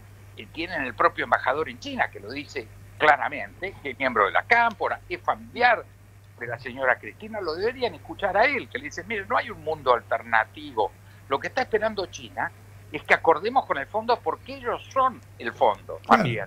claro. Entonces, esta ideo- ideo- ideologización a la que vos haces referencia, que es cierto que existe, pero es un delirio. Claro. No tiene nada que ver con la, la ideología, es un tema muy importante. Y yo, yo me siento, además de un político y un diplomático práctico, un intelectual. Y los temas ideológicos son temas muy serios. Bueno, yo- es, yo- es berretear. Yo te voy a decir, y no te, no te incluyo a vos por tu diplomacia, pero lo digo yo con, con esta rústica radial, que eh, la de la- el gobierno de Cristina Kirchner tiene un gradiente eh, de, de, de ilógica mística que no entendemos. Claro, pero ese, ese es el problema. Y hay un dato eh, que es, que es eh, democrático en la Argentina. Este gobierno, con toda la legitimidad que tiene, sacó el 48%. Por supuesto, nadie lo discute, eso sí. Eso nadie lo discute en la Argentina. ¿eh? Ahora, el- dos años después hay una elección, pierde 5 millones de votos, saca el 30%. Hay un mensaje desde la ciudadanía, no tuyo, mío, No, no. eh, o- o de- no, no, es de la ciudadanía que les dijo, los puso en un lugar, no los sacó del gobierno, sería ridículo. Nadie está planteando que. el Nadie piensa en eso, nadie pensó nunca. Na- Nada. Más No, que no hay- Cristina, no hay- nadie piensa en eso. No, no, pero por eso no hay nadie que esté en, en esa sintonía. Lo que estamos, toda la ciudadanía pensando, es que estamos, como vos lo expresaste muy bien, muy preocupados. ¿A dónde vamos? Claro. Todos sabemos que la situación es muy dura, algunos la viven, obviamente, algunos. Yo diría 60, 70% argentinos la viven muy mal todos los días, la situación. Entonces, esto el gobierno no lo puede negar y la, y la gente se lo está pidiendo. La oposición estuvo dispuesta a ir a una reunión con Guzmán para hablar del tema de la negociación externa. Se levantó el martes pasado, se levantó, no se dio ninguna explicación. No hay ninguna, ningún avance en ese sentido y estamos a 24 horas de un default. Uno dice, ¿qué va a pasar? Yo creo que el gobierno no sabe qué va a pasar en 24 horas. Y eso, eso es lo más preocupante, porque uno podría decir esta política es correcta, es incorrecta, pero la tendríamos que conocer, tendríamos que saber qué es lo que se va a hacer, cuáles son las consecuencias. Lo mínimo que el gobierno tiene es la obligación de informar y no están haciendo eso. Eh, Gelar, ¿qué tal? Buenas tardes. Emil Sebon Giovanni lo saluda. Eh, más o menos mi pregunta iba para lo que recién acaba de decir. ¿Qué implica el no pago de la deuda? Bueno, ¿qué implica en la práctica? En la práctica vamos a seguir eh, igual de mal, ¿m? sin lugar a duda, con perspectiva de estar peor. El mundo no quiere declarar un de Argentina, va a haber un largo procedimiento tratando como lo están haciendo todos nuestros socios. Por suerte tenemos un mundo que quiere a la Argentina. Esto es la verdad y hay que sentirse muy orgullosos que haya una Argentina, una, una, eh, memoria histórica de Argentina que contrariamente a muchos errores que hemos cometido, el mundo nos quiere, nos valora y está dispuesto a ayudarnos. Ahora, obviamente los primeros que tenemos que ayudarnos somos nosotros mismos. Por eso la pregunta en Washington será la pregunta del presidente Putin en Moscú y del presidente Xi Jinping en, eh, en Beijing, ¿para dónde van? Porque Bueno, ellos no lo sabemos nosotros, no lo saben ellos tampoco. Este es un gobierno de fumadores. Todo el mundo quiere que deje el cigarrillo para que no le dé un cáncer, pero el gobierno sigue fumando. No entendió el mensaje. Pero, pero, pero esta, esta situación ha llegado a una situación de esquizofrenia social Sí. muy grave, Sí. porque los datos están a la vista, el gobierno no tiene enemigos, pensemos que ahora en, en un par de días, dos, tres días, vamos a tener una movilización auspiciada por el gobierno para echar a la Corte Suprema.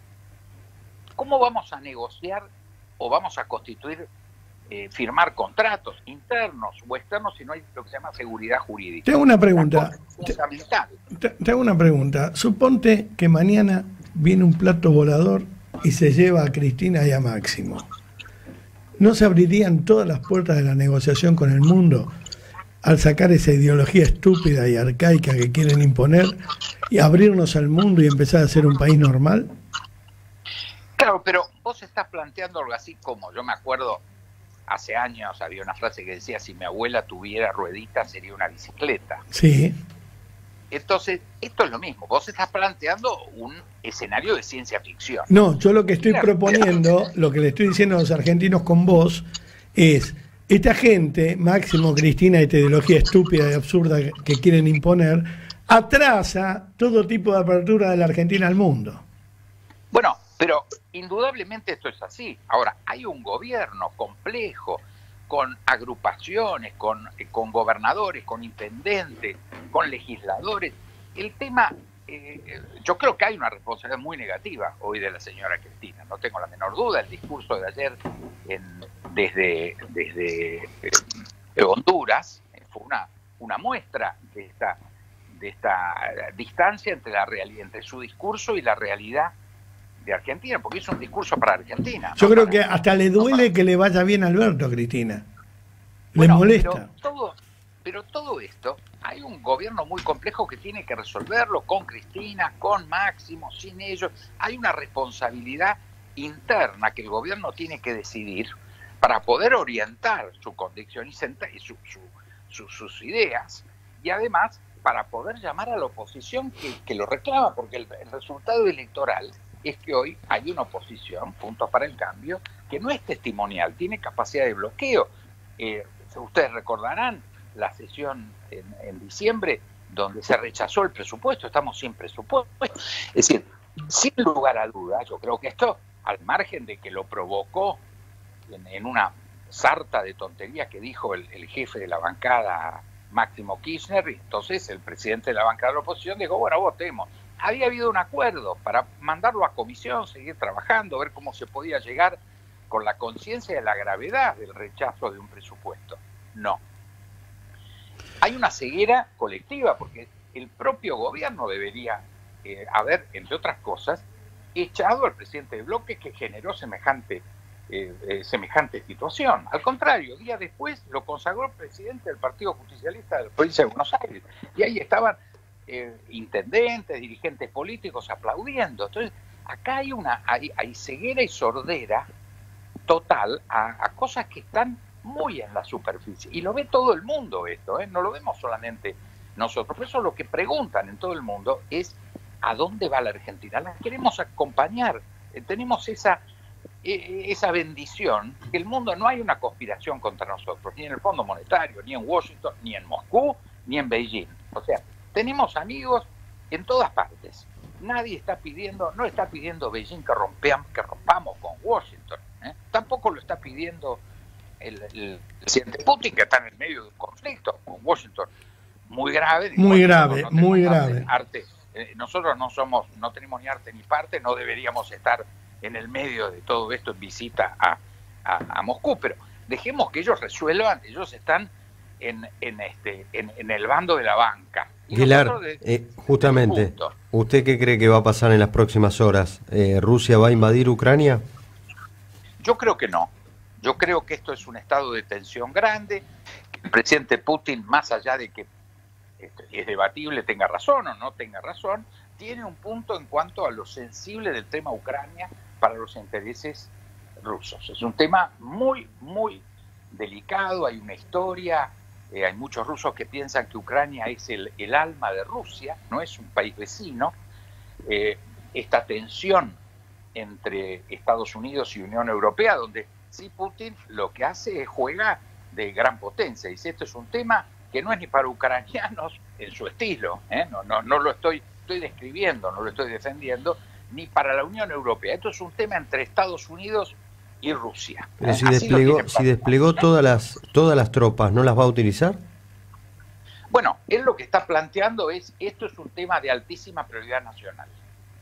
Eh, eh, Ucrania, en su planteo, tiene que ser un territorio como mínimo neutro, que no, perti- no pertenezca a la organización del, del Tratado del Atlántico Norte, que preside Estados Unidos, que ya ha incorporado a países que estaban en lo que, en lo que era el, el Tratado del, o el Pacto de Varsovia, que era una zona, era la famosa el, muro ¿eh? que separaba a, la mitad Europa occidental y oriental y la Europa central y oriental estaba controlada desde Moscú por la Unión Soviética. Ese era el, estado del mundo hasta 1990. ¿m? Ahora, esta situación se terminó, la Guerra Fría la ganó Estados Unidos, se disolvió la Unión Soviética, pasaron 20 años duros para, para la ex Unión Soviética, con Gorbachev, con Yeltsin, que al margen, insisto, sin emitir juicio, acá estoy haciendo una descripción, aceptaron retirarse, retirarse, retirarse y un avance enorme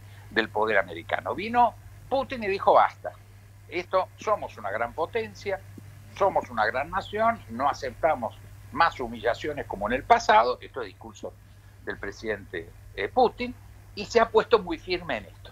Yo creo que van a llegar a una negociación, que esto no lleva de ninguna forma a una guerra. Esta es, mi convicción, veremos si es así, pero yo creo que van a llegar acuerdos que van a ser mágicos. No va a haber un día que diga esto está acordado. Creo que vienen eh, años de tensión en este, en este campo y años de tensión en una negociación muy dura entre Estados Unidos y China, que hoy son realmente las dos superpotencias. Eh, eh, eh, Putin cree que tiene que estar en la cúspide del poder los tres, Rusia, China y, eh, este, Estados Unidos, porque no existe el bloque ruso-chino. Eh, tienen una relación que, empujada por algunas definiciones, a mi juicio, equivocadas de, de Washington, acerca a Rusia y a China. Pero Rusia y China son competidores. Diego, se me va, se, me va la, eh, se me fue una clase, una clase de, de historia, de, de geografía y de futuro. Te mando un abrazo fuerte, Diego. Eh, Un gusto estar con ustedes, como siempre, a disposición y, y- roguemos al cielo que se ilumine la visión de este gobierno porque Dios no podemos estar caminando así. La catarata de estupidez que tienes en los ojos. Te mando un abrazo, gracias, es muy amable. Un abrazo. Eh, eh, es una clase. Hablar con Diego Velar es ponerse al día de la verdad de lo que está pasando, sí. Rotativo del aire de Radio Rivadavia. Hola Gaby, te escucho siempre, sos un capo. Soy Isabel de la Plata. Me da asco escuchar a esta cretina. Se me revuelve el estómago, te juro, no la puedo escuchar, da asco. No tiene cara, no tiene vergüenza. Hola Babi, ¿qué habla esta cretina de la colonización? Si ella hubiese sido la primera con una pluma en la cabeza. Un beso, Susana de Florida West. Le pido un favor, con educación los mensajes. Eh, eh, Cristina, no Cretina. ¿Mm? Bueno, la crítica está bien, pero no falta el respeto. Sí. ¿Sabés que uno de los que salió a criticar a Alberto Fernández, cada vez que Cristina quiere pegarle a Alberto Fernández, utiliza algunos voceros internacionales? En este caso, Diosdado Cabello hizo declaraciones. ¿Querés escucharlo, Babi? Sí. Señora, hay uno que se llama la Nación de Argentina. Sí, yo vi uno, creo que es el de Argentina, pues, porque decía ahí que el, el presidente Fernández había exigido en la ONU respeto a los derechos humanos en Venezuela. Ay Dios, cuando uno ve esas cosas, este, dice, Dios mío, ¿para dónde es la cosa pues? El Fondo Monetario Internacional presiona mucho, el Banco Mundial presiona mucho, presidente. Digo yo, no sé, ¿no? Digo yo, no sé. Digo yo. Si se pusiera a revisar a lo mejor lo que hizo Macri con los derechos humanos de los argentinos, tendría muchas ocupaciones en Argentina. Digo yo, no sé. Digo Este, este pelotudo habla porque tiene un tajo en la cara que la llaman boca. En Venezuela no se respetan los derechos humanos. Este pelotudo de Diosdado Cabello, que es la mano ejecutora del imbécil de Maduro, tiene un programa que se llama Con el mazo dando y tiene, siempre manejamos en los medios, les voy a explicar, lo que se llama el mensaje subliminal. El mensaje subliminal es lo que se dice cuando no se está diciendo. Nunca podríamos tener en un programa de televisión nosotros un machete, un mazo, un arma arriba del escritorio. Una locura. Este mierda tiene un machete con clavos. Entonces dice, Benedetti, hola de Benedetti. Una vergüenza, con el mazo dando Benedetti, go home. Y todos lo putean. Quiero decir que este, este nazi, esta basura de Diosdado Cabello, opina de nosotros que nunca pisó la Argentina y no nos conoce. Y no nos conoce. Pero este tarado pertenece a la runfla de Cristina. Entonces, esta es el, mejor ejemplo de, de la ideología. Yo creo que dentro de la cabecita de Cristina está, si le va bien a Alberto, me va mal a mí. Entonces trata de boicotear a Alberto por los cuatro costados, porque como ella está mal vista, destruida, su imagen está por el suelo, la idea de ella es que Alberto se vaya mal para que digan falló Alberto y no Cristina. Y la que falló acá y los delitos los cometieron ellos, no Alberto. Entonces yo no lo defiendo a Alberto porque es un oportunista, pero sí tampoco le echemos la culpa de que la Argentina está destruida, porque está destruida por Cristina, no por Alberto, claramente. ¿Quién es este che, el jugador que lo agarraron con un arma en el auto? ¿Quién es? En Uruguay, un jugador uruguayo hoy. Uruguay. No te averiguamos. Ah, bueno. No, no importa, tampoco es importante. Emilce, ¿qué tenemos? Mirá, dejá de joder con esta música, mirá la mierda que ponés, estás loca vos. Pone cualquier cosa. Una dice, cumbia, ponele. Poné algo rápido arriba. Mi papá Noel, pero dejate de hinchar la pelota. Estúpida, ¿qué querés? ¿Voltearme el programa? No, te quieres tú. Dame la Ya sé. Ponele una cumbia, claro. Así nos echan a todos. No, porque podemos poner eh, la de Cacho Castaña. A ver. eh, la de Rodrigo. Hoy paso a verte a las seis. Como acordaron cómo le gustaba la cumbiera. Sí. Está. Se desespera porque- Eh, loco, loco, la cerveza, loco. Ahí está. Bueno, este, ¿qué ¿Qué tenemos? temazo Y mirá, a, a propósito de cantar, hay un camionero que hoy hablamos y le cantó las 40 a los Moyanos. ¿Sabes cómo fue? De casualidad. Porque él recordaba que hubo un momento en el que también estuvieron a la vera de la ruta. ¿Cuándo? En el 2008, cuando apoyaban al campo. Claro, recordemos que están parados en este Sí, momento, están, ¿eh? están parados en la ruta Ahí va. 7, ahí en la zona de. Uspallata, en el paso eh, Cristo Redentor. Están protestando porque en Chile les piden un montón de papeles para poder ingresar. Hay 3.400 camiones que no pueden pasar. Dice este camionero que de la ruta 7 los camioneros están al costado, a la vera de la ruta y llegan hasta el límite de Le San Luis. mandamos un abrazo a todos los camioneros que nos siguen y nos, nos acompañan más allá de Moyano, ¿no? Sí, señor. ¿Vos sabés las Sí, sí. puteadas que tengo a Moyano de los camioneros? Y No. ahora, el que vas a escuchar ahora Este, es buenísimo. Porque Pablo Moyano salió a hablar y dijo, a las autoridades nacionales, a las autoridades de Chile, nadie le da pelota, nadie resuelve, los camioneros vamos a seguir en la ruta. Yo se le pregunté, ¿está con ustedes Pablo Moyano? A ver, Moyano nos está respaldando ahora, no hemos visto a nadie nosotros acá del sindicato, a lo mejor nos están haciendo el aguante moral, porque acá no ha venido nadie. Acá lo único que nos están asistiendo a Procan, Asociación Patronal de Camiones. Los patronales, los empresarios nos están trayendo los alimentos acá y nos traen agua, nos traen papel higiénico, nos traen azúcar, té, sal, nos traen eso. Moyano no, a nosotros no. Me parece que ellos están para otra cosa, no sé cómo es el tema con ellos, pero no, no, no, no, acá nadie. Están para hacer negocio y quedarse con la Argentina los Moyanos, no para los camioneros. El día que los camioneros lo entiendan, van a ganar mucha más plata. Ustedes con Moyano están sujetos a la mentira también. a la, a la prisión del camión. Tienen que liberarse de Moyano. El día que los camioneros tengan un sindicalista que trabaje de verdad para ustedes y no los conforme con un parque de diversiones, van a ver cómo van a... Hay mucha guita dentro del gremio de los camioneros, mucha, maneja la Argentina. Han, constru- han construido sanatorios, han construido eh, clubes. Antártida. En la Antártida, sí. Eh, tienen los mejores gimnasios, los mejores lugares de veraneo. Hay muchísima plata. Pero, pero Pero los camioneros. Lo que pasa que no si en cambio de darle a ustedes con clubes y hospitales el 20, le dieran el 80, ustedes estarían mucho mejor. ¿No? Porque los sindicatos en algunos casos trabajan así. Sí, somos cuatro, sindicatos de pelotudo al mediodía. Sí, les conseguí ahora una manzanita para cada uno al mediodía. Y yo voy y tengo vale para comer en el restaurante de esquina.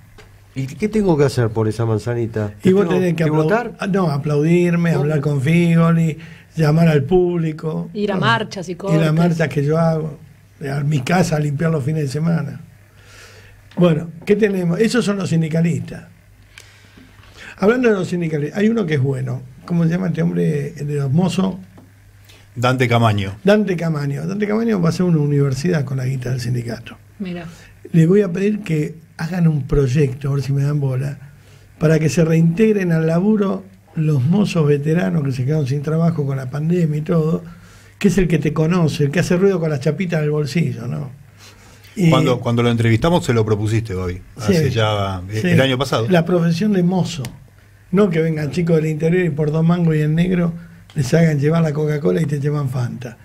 Que, que el que está con la mirada y está atento a lo que pasa en cada mesa, porque viste que ahora para. No, se te acalambra la mano. Así, así, hacen que te miran y no te ven. ¡Ey! ¡Ey! ¡Ey! No te dan bola.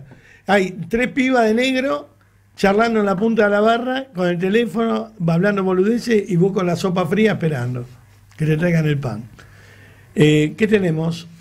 ¿Sabés que la que opinó también sobre este ¿Sabes cómo trabajan? a- yo saqué los ejemplos que sirven. En Estados Sí. Unidos viene el camarero, te sentás y te dice, ¿qué tal? Soy Wilson y yo soy el camarero que los va a, a supervisar. Se presenta. El señor que los va a atender se llama Ricardo. Ricardo, ven acá. Ricardo, sí, yo soy Ricardo y estoy para servirlos a ustedes. Eso es una profesión. Sí. Sí, justamente, que acá con los nuevos, como decís vos, Babi, no ocurre, pero eso es una práctica que se perdió ya ¿eh? en la atención al público. Te voy a contar algo. Es verdad. Eh, también el de la gente que trabaja a domicilio. Hay que respetarla.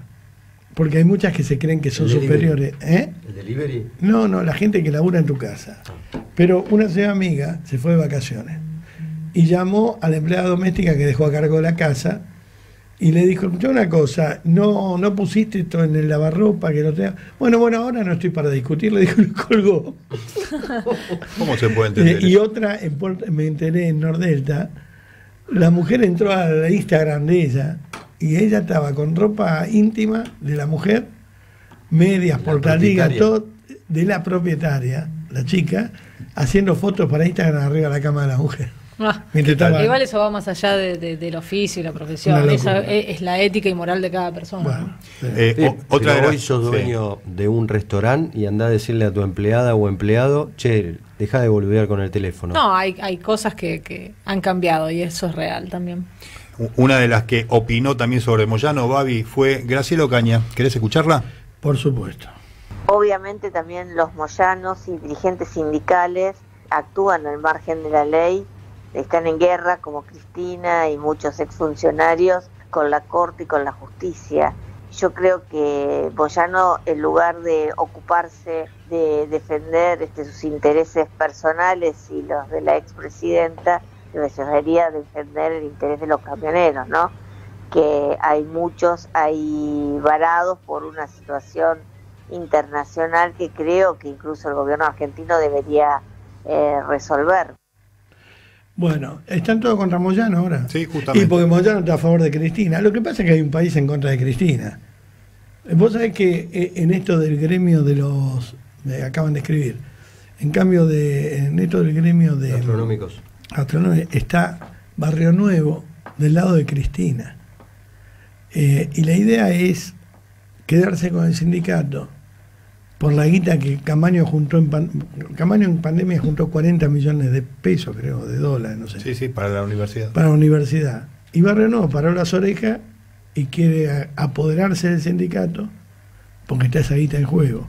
Y la tiene pisada Camaño, que la junta, pues es un tipo honesto. La tiene, después vamos a salir con ellos para ver qué pasa.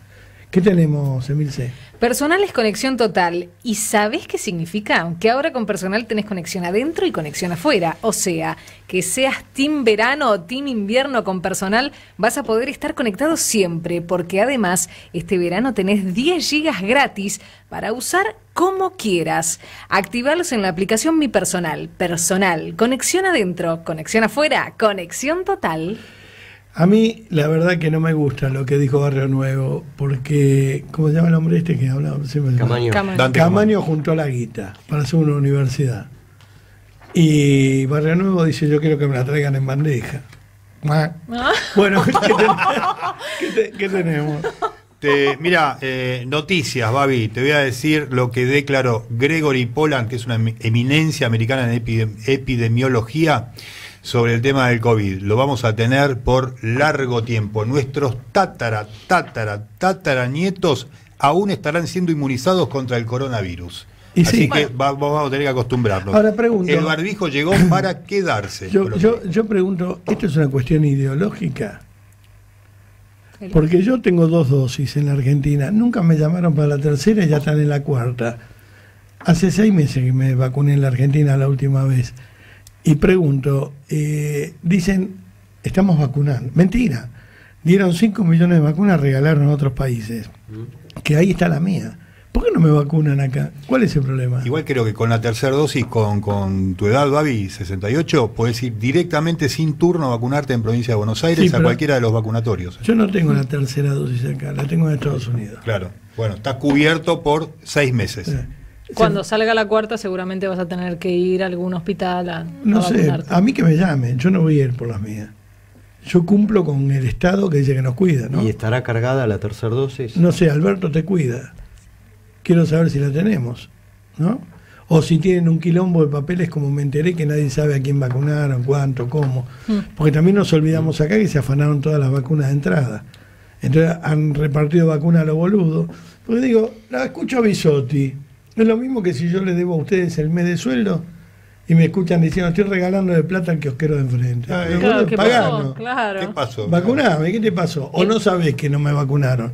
Porque a lo mejor tienen tal desconche en la provincia que no saben a quién vacuna, a quién no. En lo que respecta al vacunatorio VIP, se conoció una noticia que no se sabe si es real o no, pero habría un lote de vacunas de Sputnik que cuando no llegaban todavía las vacunas argentinas a, a Argentina, habría llegado este lote de vacunas para vacunar a este vacunatorio VIP. Está en investigación, ¿no? Si realmente... Bueno, pero que no pasen 10 años, Bueno, que, no- eh. que investiguen ya. ¿Qué, qué pasa? Que la justicia no investiga. Y ahora están en feria.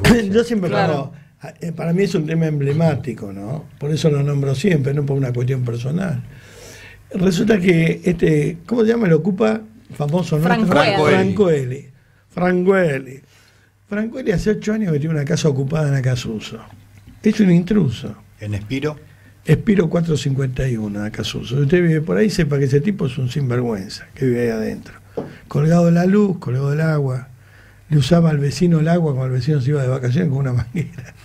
Es una residencia, es una mansión. Y el tipo, ya a esta altura, cree que es dueño de la casa. Tiene cinco denuncias, dos penales. Este, y la justicia no actúa. Está ahí, ¿viste? ahora la feria. Ahora sí, ya le sale el pedido de desalojo.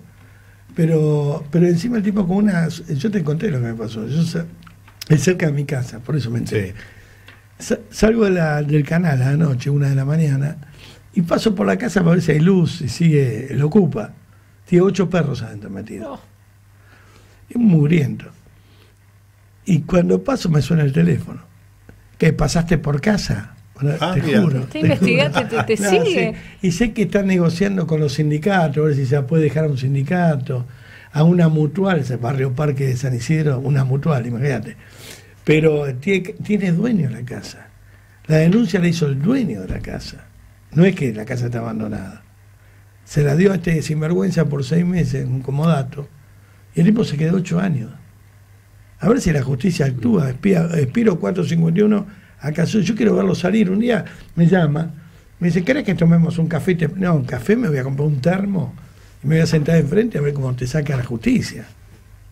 Sí, Cara dura. actúa. No, sí, actúa, están actuando, ¿Sí? pero lento, viste que va la fiscal. Ocho años es una barbaridad Pero de tiempo. Ocho años cagando Locura. la vida a un tipo. ¿Sabes lo que es tener una casa que debe costar mucha guita, ocupada por este roñoso y no poder usufructuarla porque el tipo está adentro? La justicia entiende lo que es esto. Lo que pasa es que vos tenés un gobierno de la provincia de Buenos Aires que no actúa con las tomas de ningún tipo. Toma de terrenos, toma de No, ahora sí. Pero digo, acá hay buenos abogados. Pero te cuento, un día yo cuando lo nombro acá, me manda la foto de él con el Colorado Santilli, de él con, ¿cómo se llama? El pelado Larreta, de él con el mago sin dientes. Se sacó fotos con todo. Sí, con todo. Hablo con Santilli y me dice, ¿quién es? Y claro. lo está sacando chapa con vos. Hablo con Larreta y me dice, no lo conozco, este pelotudo. Le digo, te está sacando fotos con vos. El Lo que- mago de dientes, sin el dientes, mago sin tampoco. dientes tampoco. De los dientes. Entonces, no, El pero me, manda como diciendo, mirá la banca que tengo. Foto que saca cualquiera en un acto. Un acto. No, o en las recorridas que hacen en la También. calle. No, es un, te- es un idiota. Claro. Pero me manda y hablo con los muchachos que son amigos míos. No me dijo este pelotudo, porque es muy correcto. La me dice, nunca lo vi en mi vida. Y anda sacando chapa con eso para ocupar una casa que dé una persona. A ver, a mí me indigna este tema, porque la casa tiene dueño. No es que decir, no sabe, sabe de quién es una una mujer que murió, no tenía. Esa casa tiene dueño. Y el tipo se presenta como un amparo a la justicia. ¿Desde qué año está, Babi? Hace ocho años. Siete, ocho años. Y Muchísimo encima a- amenaza al dueño. Si me pasa algo a mí o a mi familia, es responsabilidad tuya. Es responsabilidad tuya que sos un ocupa miserable, un roñoso que metió a tu familia en una casa que no es tuya. Colgado. Conseguiste un lugar. Y andate. Franco Eli se llama el ñato. Bueno. Tanda, Anda. señor. A ver, no, ahora aquí hay un error, porque los amantes nunca se ven los domingos. Ah, está bien lo que decís. Es un error. Tenía que ser hasta el lunes, hasta el jueves, pero nunca los domingos. semana. Claro, está con la familia ñato. ¿Eh? Es verdad. Porque dice, deja a tu esposo, yo dejo, Mi dejo mi esposa, yo dejo tu... Y nada, ¿y el domingo qué? Están comiendo los fideos y yo me voy a culiar un rato. Bancame que ya vuelvo, ¿eh? Ah, bueno, voy a ver aquella. Bueno, ¿qué tenemos? Cristina Camaño. ¿Te Sí. suena la titular de la Agencia Federal de Inteligencia? Sí. Ayer eh, reculó, dio un paso para atrás. ¿Por qué? Porque ya era escandaloso que estuviese apoyando la marcha del 1 de febrero contra la Corte Suprema de Justicia. Sí, Ella es la jefa de los espías y está convocando una marcha. Ayer Poneme dijo- la música de James Bond, por favor. Ayer dijo que la apoya, pero que no va a ir. ¿Por qué? Pero la apoya. La apoya, sí, porque hay varios diputados y referentes de la oposición que la denunciaron. La jefa de los está- espías. Está violando la ley de inteligencia. Claro. Un eh, referente de un organismo del Estado como es la CIDE o la ex CIDE, la AFI, no puede apoyar a una marcha en la que se pide voltear a los miembros Qué locura. de, de otro poder del Estado. Qué locura, qué locura, Imagínate si Arribas salía en la tele y decía, che, yo voy a ir a una marcha contra los diputados kirchneristas. Y voy a estar abajo. No, es una locura lo que dijo y lo que hizo, porque además apoyarla ya implícitamente es. O un Magdalani. Eh, es un escándalo. Pero acá ya nos acostumbramos a que la Son unos payasos. institucionalidad se terminó. Son unos payasos. Vos imaginate con esta mujer en la CIDE, cómo debemos estar todos pinchados, por los cuatro costados. Terrible. porque es una militante y, y ella cree que le está haciendo un favor a su espacio político y a la Ahora, patria. esto de meter a cualquiera en la CIDE, tenés que es una carrera la CIDE, no es para cualquier chanta pufi. No Desde- digo que sea chanta, pero. Sí, Desde las declaraciones son el chavismo. Exactamente el chavismo. Imagínate que tienen todo el poder. E- e- Eso es lo que hay que pensar. Por eso los venezolanos que están en la Argentina dicen, presten atención, esto mismo hacían y decían eh, los de Chávez y el, y el chavismo, al igual que Maduro, antes que tomen todo el poder. Ahora la van a denunciar este, por, por- por su rol militante al frente de la Agencia Federal de Inteligencia. Ahí está eh, el proyecto de Gerardo Milman y también de Miguel Ángel Toma, que, que sabe de esta historia porque estuvo en la época menemista al frente de la CIDE, en aquel momento así se llamaba, y que dice que se ha militarizado este espacio que es importante, que es una caja política. Yo- a mí me, importante. pare- yo me parece que tener la CIDE o la AFI en manos de esta gente que es fundamentalista es un peligro enorme que no nos damos cuenta. Lo primero que hizo Cristina Camaño, recordemos todos, primera acción, dejó eh, en estado público el listado de miles de agentes de inteligencia, no solo argentinos, sino de, de otros países que estaban eh, con destino en, en el exterior, aparte de internamente. Lo dejó libre, todo el mundo sabía quién era quién. Para que los maten. Sí, después dijo, reconoció el error y volvió a cerrar los archivos cuando ya lo Sí, tenía todo ya el mundo. todo el mundo lo tenía, es un segundo. sí, ya se habían publicado en los portales eh, cercanos al kirchnerismo, ya lo tenía una fiscal, ahí le, después le echaron la culpa a la fiscal Incardona, que también Ahora, le, la echaba- le habían culpado a Magdalena y no sé de qué cosa. Esto es, es terrible. Y que se ocultó. grave. Bueno, y otra de las cosas que hizo, hizo un Zoom hablando de eh, un montón de secretos del Estado con eh, Ariel Garbanz. O sea, Garbanz, ¿quién la entrevista a Camaño? Garbanz. Garbanz, el jefe de los trolls y lo del kirchnerismo. Garbanz, que tiene muchos departamentos Sí. en Miami no declarados y un montón de cosas, ¿no? Sí, sí, el que eh, decía que sabía todo lo que había pasado con Nisman, denunciaba a Cristina que espiaban a los teléfonos y después con Macri se fue y decía que Macri espiaba. Una cosa que Este- va y viene. este- este- Es como Gustavo Vera, que Vera estuvo en la lista de la coalición cívica, primer candidato a legislador, y denunciaba la trata y los vínculos con Aníbal Fernández, y ayer Va, dos veía en las redes y es funcionario y está cercano a Aníbal Fernández. Había uno que estaba con el tema de la AMIA, no vamos a dar el nombre, de bigote que aparecía en televisión haciéndose la víctima, porque su ex mujer había muerto en la AMIA. Y lo culpaba al Fino Palacios. Yo hablé con el Fino Palacios. Ese tipo estaba siendo investigado por tráfico de oro. 60 millones de dólares, creo que eran. No lo digo, no. No, en contrabando de oro. Y el Caradura, viste que salió de la televisión. El Caradura, cuando se enteró que lo estaban investigando por tráfico de oro, de, oro la- de la calle Libertad, salió a ponerse como víctima de la AMIA para decir que lo escuchaban a él y lo perseguían. No, lo escuchaban porque era un delincuente. Reconocido militante kirchnerista. Además. Eh, la causa Dolores se quiso meter también como querellante, estuvo en varios programas de un, televisión. espi- un, sí. un servicio del kirchnerismo. Pero el Caradura era delincuente y el Fino me dice, a este lo estábamos, lo habíamos pinchado con orden del juez para investigar el tráfico de oro. Sí, en, en Cromañón pasó también con eh, alguien que denunciaba espionaje y estaba vinculado con una causa de lavado de activos y era uno de los padres más activos. ¿Viste? Hay que saber la verdad de esto.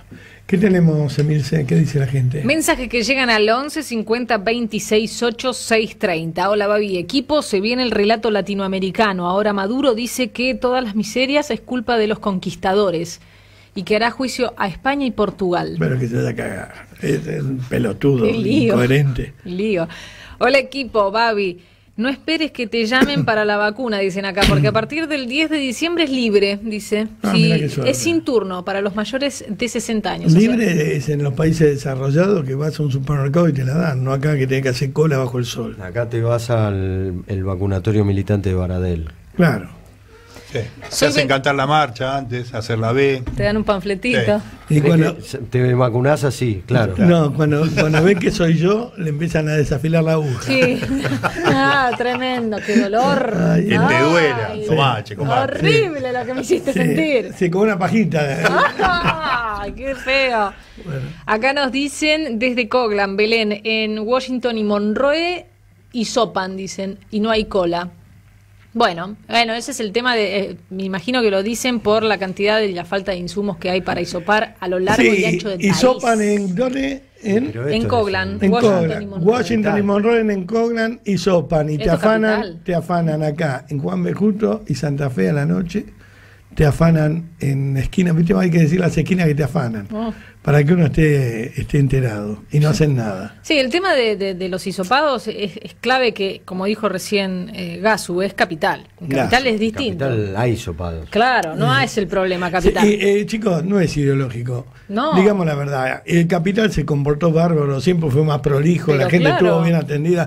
Lo que es un quilombo nacional es, es provincia. Sí, sí, sí. Y no solo provincia de Buenos Aires. No, Hay muchas provincias sin insumos. Buenos días, Babi, genio. Te voy a ver al teatro cada vez que puedo, dice. Gobierno de impresentables. Todos son de origen europeo. Gracias por pasar. Leticia, dice. Bueno, Leticia. Leticia. Sí. ¿Quiénes son de origen europeo? Los funcionarios. Los funcionarios. Bueno, de- Claro. si todos somos europeos. Y sí. Todos somos, salvo algunos No, apellidos. Kirchner es de origen mapuche. No, no. Lo- Y ¿qué quiere- Brasil. vos, vos fíjate qué quiere decir. Kirchner. Claro. ¿Qué quiere decir Kirchner? Fíjate. A ver. Sí, va, búscalo. Buscá, ¿qué Claro. quiere? Etimología del apellido Kirchner. Vas a ver. El tema de, sí. A ver, búscalo. Sí. La radio la hacen ustedes, Babi, dice Claro. Gabriela. Y la deshacen los dueños. ¿Qué más? Saludos, Babi equipo. Quería hacer una pregunta. Nosotros tuvimos, dice, parado por escribano casi un año la venta de un terreno. Dice, por un problema con catastro.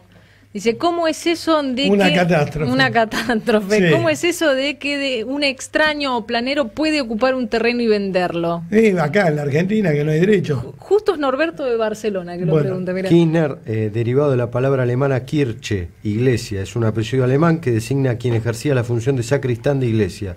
En sentido más genético significa hombre de iglesia. Su pronunciación Exacto. correcta en el idioma original es Kirchner. ¿Cómo es? Como la pronuncia. Kirchner. Kirchner. Kirchner. Muy ¿Vos bien. también la pronuncias Sí, así? Kirchner. Sí. Kirchner. Qué Cristina. Kirchner. ¿En qué habla? ¿Alemán? Es un santo Alemán. al final. Es un santo, pero claro. San Kirchner. San Kirchner. Y está bien, porque hay que poner una moneda. Porque... El saquistrán no era no sé qué pasa la bolsita. Claro, ese que pasa la bolsa. Ah, claro. Se Mirá. quedaba con la El que bolsa. maneja la guita de la iglesia. Bueno, ¿qué más? Babi, te felicito por la claridad de tus pensamientos, pero lo de ayer de esta mujer es un papelón, ¿Cuál? dice ante el Cristina. mundo, Cristina. Es un papelón, Cristina es un papelón. Sí, dice, Como, como Maduro es un papelón. dice, no sé cómo todavía aplauden, por favor, cómo ahora hacen los piqueteros una marcha para no pagarle al fondo ni un dólar. Si ellos Ahora son los... me dan risa porque hubo que pedir guita para pagarle a ellos y ahora ellos hacen la marcha para no pagarle. Sí, sí, sí, no, no, no, increíble. Es increíble. Es increíble. el país. ¿Sabe cómo lo saco yo? Vayan a laburar, vago de mierda. Sí. Tendríamos que salir la gente de laburo a pedir que si no pagan vamos a estar todos peor. Miren, la cosa es así. Durante el gobierno de Cristina nos dejaron una moneda. Este tuvo que salir a tirar la manga para pagarle a estos otros que habían puesto un helicóptero de cartón y querían voltear el gobierno y dijeron hay que sacarlo ya del gobierno. Hubo que bancarlo. La verdad que eh, Macri puso una persona no útil en el lugar que fue Stanley, que él no, no vio un pobre en su vida y no tenía la más puta idea de cómo se manejaba eso. Se hizo amiga de Juan Graboy, le daba las bolsas de, de negra de consorcio con plata y le decía Juanpi. La mina la derrochó toda la guita que había que darle a los piqueteros porque pagaba por silencio. Y después nos encontramos con esa deuda gigante pedida al fondo para taparle la boca a Grabois, amigo del Papa, para que no le hagan quilombo a Macri y lo quieran voltear como voltearon a De la Rúa. Esa es la realidad. Ergo, la deuda se la dieron a todos los atorrantes que van a Plaza de Mayo con la cacerola a querer voltear gobierno. Al gordo que tiraba la bengala, a los hijos de puta que rompieron la fuente, a los que se juntaban en el obelisco. Ahora esos mismos mierdas se juntan para decir que al fondo no hay que pagarle la guita que ellos se gastaron. Que son garca. Te quiero llevar a Santiago del Estero, Babi. Qué Viste lugar. que hay muchos problemas en Santiago del Estero, ¿no? Pobreza, te encierran, o sea, es un estado casi dictatorial el de Gerardo Zamora. ¿Y sabes en qué está ocupado su partido? Uno de sus dirigentes, Juan Martínez. Mira el proyecto que presentó. Quiere crear la oficina del orgasmo femenino. ¿Qué? Es un hijo de puta. Sí. Y ¿Y en escuchá qué por qué. consiste? ¿En qué consiste? Lo argumenta, lo argumenta. Es de la escuela de Tolosa Paz, el Sí. El Garche. ¿Vos no Él sabés dice- lo que es el orgasmo femenino? No, no tengo ni idea. Bueno, después te voy a explicar. Bueno, ¿qué que dice? viajar a Santiago del Estero. Te voy a llevar a Santiago del Estero. Gracias. Te agarras de Santiago del Estero. Una vuelta en chota por toda la parte de los valles. Por la plaza, por la plaza. El argumento es, es tremendo. Él dice que hay una encuesta mundial en donde se afirma que el 30% de las mujeres tienen problemas para llegar al orgasmo Ah, y mira que si se ayuda son, desde todas, esta son todas las que Claro. se acostaron conmigo. Sí, si se ayuda ¿Y a quién desde esta oficina, no, pero pero mirá el argumento, si se ayuda desde esta oficina de eh, eh, orgasmo, orgasmo. femenino, Sí. va a bajar eh, la violencia de género. Más ¿Qué machista? Uh, Y misógino ¿Qué tiene que ver esta el propuesta- orgasmo con la violencia de género? es la propuesta del partido de Gerardo Zamora a través de No me- Juan no me Martínez. cierra igual, no la, lo su entiendo. la dirigente. explicación es Pará, como no lo no, entiendo. no Claro. son buenos en la cama, les pegan a la mujer. Claro, ¿ves? Como no llega al orgasmo la mujer, una locura. el marido le pega, Qué- la pareja qué- le pega. Qué locura. Yo nunca Pero ¿cómo llegó a esa conclusión? Es A dedo. Andá a a dedo a Santiago. Yo Es la verdad una que.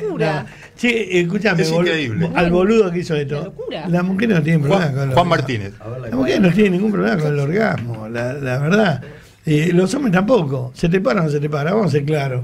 Al orgasmo llegás o no llegás, no es una, esto es machista, es obligar, no, tenés que llegar al orgasmo para satisfacer a tu hombre. ¿Quién es esa? Este es Juan Martínez, el que hizo la propuesta. Tenés cara de pelotudo y sos pelotudo, Juan Martínez. No. eh. La verdad que sos bárbaro. muy pelotudo. No, igual me sorprende, me sorprende que Pero la realmente mujer le den objeto. enti- Pero no le puedes dar entidad a esto, es una locura, es un. Es, Eh, es- eh, es si no violento. acabaste pego es. No, pero es mensaje. violento, es totalmente violento. Bueno, acabemos con este tema. por favor. Con esta canción que me encanta, empieza el final del programa, ya se empiezan a preparar los muchachos. ¿Cómo estuvo el programa de hoy? La gente opina.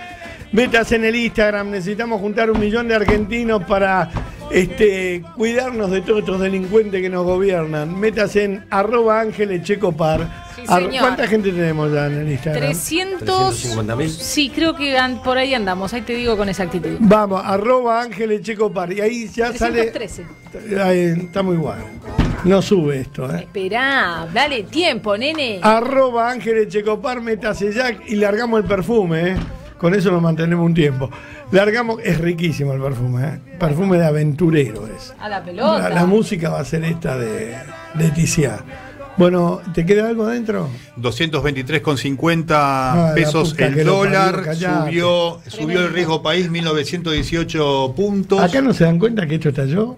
Sí, en sí. la Argentina no se da cuenta que el Están dólar. de vacaciones. Ahora Sí. están volviendo los piqueteros. pero Claro, ahora vuelven los piqueteros vuelven- acá. volvemos los otros. Escúchame, esto se fue a la mierda, sube, eh, pero no lo frena nadie el dólar. Los bonos argentinos cayeron en dólares, cayeron 2%. Tenemos vencimientos. De acá al primero de febrero vencen 1.084 millones de dólares con el Fondo Monetario Internacional. 700 mañana. Eh, 700 mañana y el 21 y 22 de marzo 2.824 millones Esa de es la dólares. complicada. Es complicado, no hay miras de pagar. Un consejo para los Kirchner y para toda la gente del gobierno de los Kirchner. Si tiene dólares eh, en paraísos fiscales, eh, guardados en bolsas de consorcio, enterrados, este, En la pancita de un dragón. en la pancita de un dragón, guárdelos porque cada vez sube más. O sea que lo- los del gobierno de Cristina se han ganado pingües ganancias, han tenido en este corto tiempo. Que me lleva a pensar que siempre que hubo un gobierno así de chorros, el dólar se fue a la mierda porque los dólares los tenían ellos. Claro. Entonces la idea de hacer unas ganancias increíbles fue dejar que se piante el dólar. ¿Será Y eso? cuando fue la, en la plata que giraba al exterior Lázaro, en ese momento hubo una disparada del dólar y después, bueno, lo reveló en la justicia, Fariña lo contaba, no se encontraban los dólares porque estaban comprando los dólares ellos para girarlos al exterior. Por eso, ¿pasará o no pasará? Eh, cuando vos te afanás un PBI completo y lo tenés escondido por todos lados, eh, ¿qué querés con ese dólar? ¿Que esté parado o que se dispare a la mierda y ganás el triple? Va, qué sé yo. Sí. No, una cortita final, Babi, esto es otro de los colmos, ¿no? No está a la altura del orgasmo santiagueño, pero eh, pegan el Qué palo. lindo para hacer una chacarera. ¿El orgasmo santiagueño? Órgamo santiagueño, es lento pero te moja. La luna que no se enoja. Empieza, empieza a todo, todo, todo. A ver. ¿Qué? Ahí está, ahí está.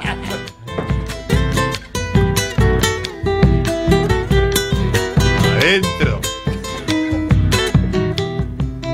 Órgamo santiagueño, órgamo que no te moja. Cuando la luna se enoja, te pongo y se cruza el ceño. ¡Esa!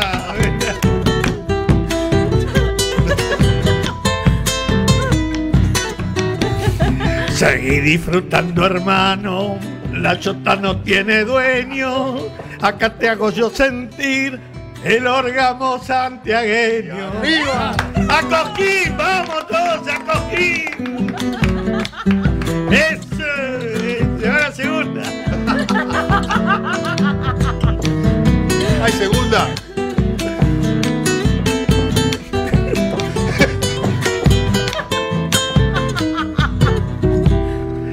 con esto de hablar de orgasmo. Mi día es muy iracunda. Ya me eché yo el primero, no llegó a la segunda.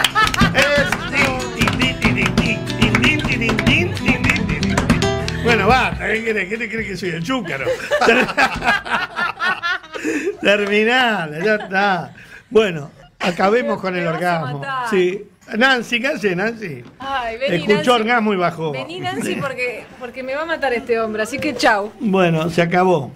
¿Cómo les va? ¿Qué hace Nancy? Hola, hola, hola. ¿Quién falta? ¿Qué dicen? hoy? ¿Cómo les va? ¿Están todos? ¿Están todas? Ahí ¿Están está todes? viniendo Farinela. Bueno. Che, Babi, ¿Te gustó la chacarera? me encantó la chacarera, pero escúchame.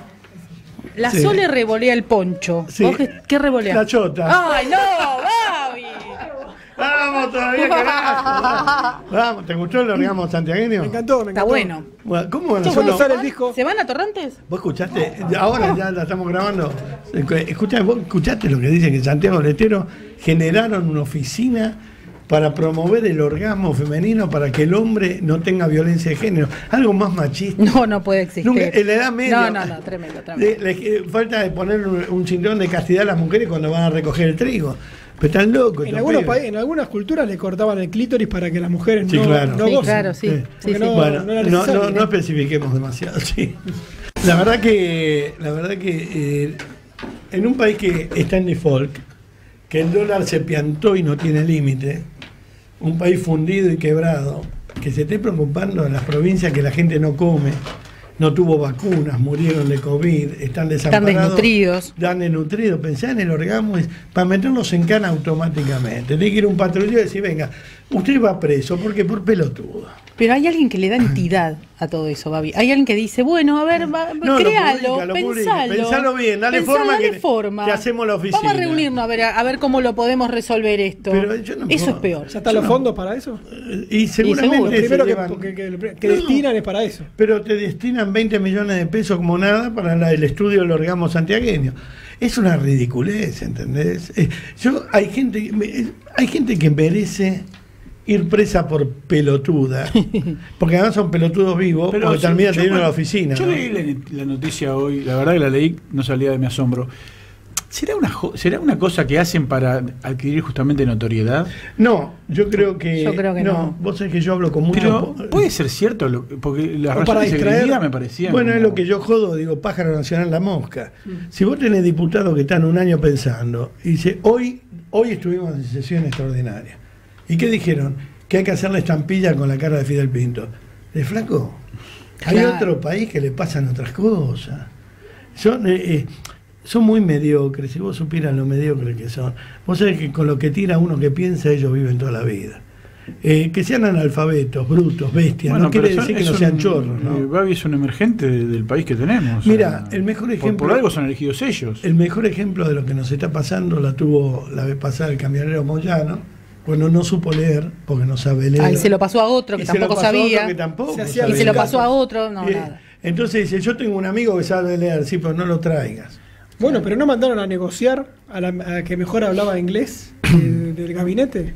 ¿A dónde? A Ah, negociar el tema de las vacunas. pero si son unos ordinarios, si todos los de este gobierno no tienen un, un sello en el pasaporte, no conocen el mundo. Estos son unos brutos. Pero aparte subestiman en la educación, subestiman el, el- el mérito. Aunque te, aunque te parezca mentira, aunque te parezca mentira, hay que viajar un poco como inversión. Como inversión. Sí, para abrir la cabeza, conocer Porque otra vos- cultura. ¿Sabes que la gente no vive como nosotros? Claro. La gente no vive como nosotros, la gente vive. Nosotros duramos. Vos vas a otros países. Yo me encontré con muchos amigos que. Ahora tengo que mandar saludos, me había olvidado. Me encontré con muchos amigos que, que me dicen: ¿Cómo estás acá? Y no estamos bien, pero vivimos tranquilos. Cambié calidad de vida por sentimiento. Mira, ayer escuchamos un mensaje al aire de un argentino que está radicado en los Estados Unidos, ganando muy buena plata, porque hasta dijo lo que ganaba, un muy buen salario. Perdón. Pero dijo, miren lo- que la plata no es la felicidad. ¿eh? A los muchachos de Graciano. Graciano. En, en- en Miami. Graciano, Sí. según a todos los argentinos. Sí. salió de Sí, era como sí. un pepino. Bueno, Sí. eso es lo que vos decís. La gente me dice, no, so- yo estaba bien, en- en Buenos Aires estaba bien, Sí. pero acá estoy tranquilo. Acá estoy tranquilo. Es que acá tampoco sabes, si, te, si estás tranquilo un tiempo, no sabes cuánto te va a durar esa tranquilidad. Nada. Y eso es como que es tan cíclico, tan, es un loop, vivís en un loop permanente, todo da vuelta, todo da vuelta, todo la- da vuelta, y la verdad que no le ves la salida. Y mira ahora lo que está pasando. ¿Querés algo más terrible que estos días? Estamos en default, el dólar se va a la mierda, la economía es un desastre. Uno habla con China, la otra le pega a China. Son todos chiflados que nos están gobernando y nosotros. eh, yo- es una cosa que no me entra en la Pero cabeza. mira, Babi, ayer estábamos leyendo, no, que no estaba Nancy, estábamos leyendo los mensajes que nos mandan los oyentes. Sí. Realmente no llegué a contar cuántos viven en el exterior que nos escuchan. ¿Viste? Sí, es increíble. Es- si nosotros decimos que nos escriban todo lo que está en el exterior, podemos contar 200 en 10 minutos. Hay 250.000 en Miami que se fueron. Por eso, Contados. esa ¿eh? gente que podría estar escuchando la radio de Estados Unidos, la radio de Miami, la radio de Canadá, la radio de España, Rusia. nos escucha a nosotros. Nos escucha a nosotros primero para sentirnos cerca, Ujú. al argentino, porque entiende los chistes. Pero segundo y tercero, porque en Rivadavia contamos las cosas que pasan. Claro. Y eso les reafirma El quedarse en donde el están. momento que Sí. extrañan, en el momento que tienen melancolía, Sí, sí. en el momento que extrañan el caramelo argentino, el kiosco, el puesto de diario en la esquina. O las relaciones humanas, que es lo más Dicen, importante. mirá la locura, cuando a mí se me pasa que estoy pensando entre volver y no volver, mirá la locura que estamos escuchando. Claro, ¿dónde veo todo eso y se me pasa. Eso es lo que quedo vos- acá. eso dicen. Sí, claro. Dicen, nosotros los escuchamos porque a veces es duro, es duro el desarrollo. Sí, por Claro supuesto. Pero necesitamos saber por qué estamos acá. Estamos por eso, no lo entienden, les parece una locura. Un país que te dice todos los días, otra, o sea, el reciclaje. Cada 10 años se pianta el dólar. Claro, Sube, claro. mismo, Es cíclico. Mirá, una- mi, mi- Pero está mi lo familia- mismo, mirá mi que el, dólar, se, el dólar se, plan- se piantó en el 18 y se siguió piantando. ¿eh? Sí. Y estamos, eh, hoy estamos en el 22, en cuatro años la devaluación del peso es dramática y llega un momento en que estamos viviendo en un país irreal, porque el país sostiene, el gobierno sostiene un dólar oficial ficticio, que ya solamente se maneja para... para porque en realidad el dólar no existe, vos no lo podés comprar, prácticamente nadie lo puede comprar. Y el dólar real es un dólar que casi ya no- tampoco está al alcance, tampoco. Porque ¿Cuánto puede- no, además- Hoy ahorré, ¿cuánto puede comprar? Un dólar. O sea, ¿cuánto puede comprar? Es así, para explicar a la gente. Tengo una casa en San Isidro en 10 mil dólares. Uy, la quiero yo. Ya la vendí, tengo la de 2 millones. Es eso. Es una mentira. Mm. Sí, dólar oficial es una es un cachetazo a la gente. Es para Porque que el no gobierno existe. gane. No, pero además te dicen, hay un dólar oficial, bueno, dame 100 mil. No, para vos no. Para vos sos un pelotudo ciudadano, pagás el de dos No, y mil. otra cosa, Gaby, que- pozos de campo, vas a liquidar, Ah, no, no te queda te nada. liquidan a, 100, a 109. bueno, es una Claro. Ahora, cuando vos querés comprar, Te, te venden a vale 2.20. 125. No, el otro día Ahora también legalizamos el dólar, que es ilegal. No, de pero, esta forma. no, pero es No es ilegal el dólar, ¿eh? ¿Y el blue? No ¿El es blue? ilegal. ¿Y qué es? Es ilegal. el- ¿Por qué el dólar tenés blue- que ir a comprar una cueva, no, lo compras no, en... no. El dólar blue, se- ¿sabes por qué se considera ilegal? En general, lo que es ilegal son los fondos son los fondos no justificados de la gente que lo compra. Si vos recibís dinero en, en- en blanco, que está. Que, que No, está- pero disculpa, di- perdón, Sí. hay que, que- Es que no tenés otra opción. Es que no tenés otra opción, porque hay mucha gente que puede comprar los 200 dólares, pero siempre vas a tener una traba, o porque tu empleador Pero- está en el repro, si vos o porque comprar, pediste un eh, crédito, Nancy, o por cualquier cosa. si y vos tenés la posibilidad de comprar Si vos los comprás los 200 200 y querés comprar 100 más, ponele. 300, ¿dónde lo compras? en el negro. Pero no es ilegal. O sea, tu dinero es blanco. Lo que es ilegal en general, ¿por qué se recurría haciendo al una blue? operación ilegal. No es ilegal, te lo digo porque lo he hablado con un abogado. No es ilegal. Lo que, lo que es ilegal, ¿por qué quedó como ilegal?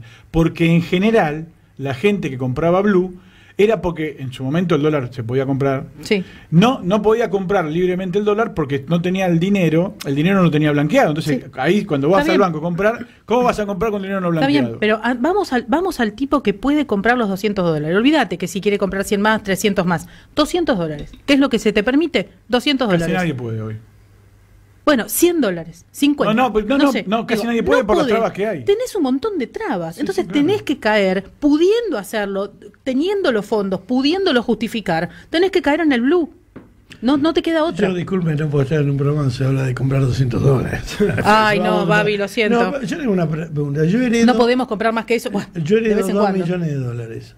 2 millones de pesos. Tenés que agarpar ahora. No, 2 Ahora tenés millones. que pagar. Yo heredo y lo blanqueo. Sí, pago. sí. Con lo que me queda voy y compro dólares. ¿Qué es ilegal? No, no es, Eh, No, no es Babi, ilegal. No es Babi, ilegal. mira, en un país serio, si vos vas a comprar un auto, a lo mejor tenés que a la, a la, FIP, a la FIP de cada país de- de- demostrar dónde sacaste la plata para comprar un auto.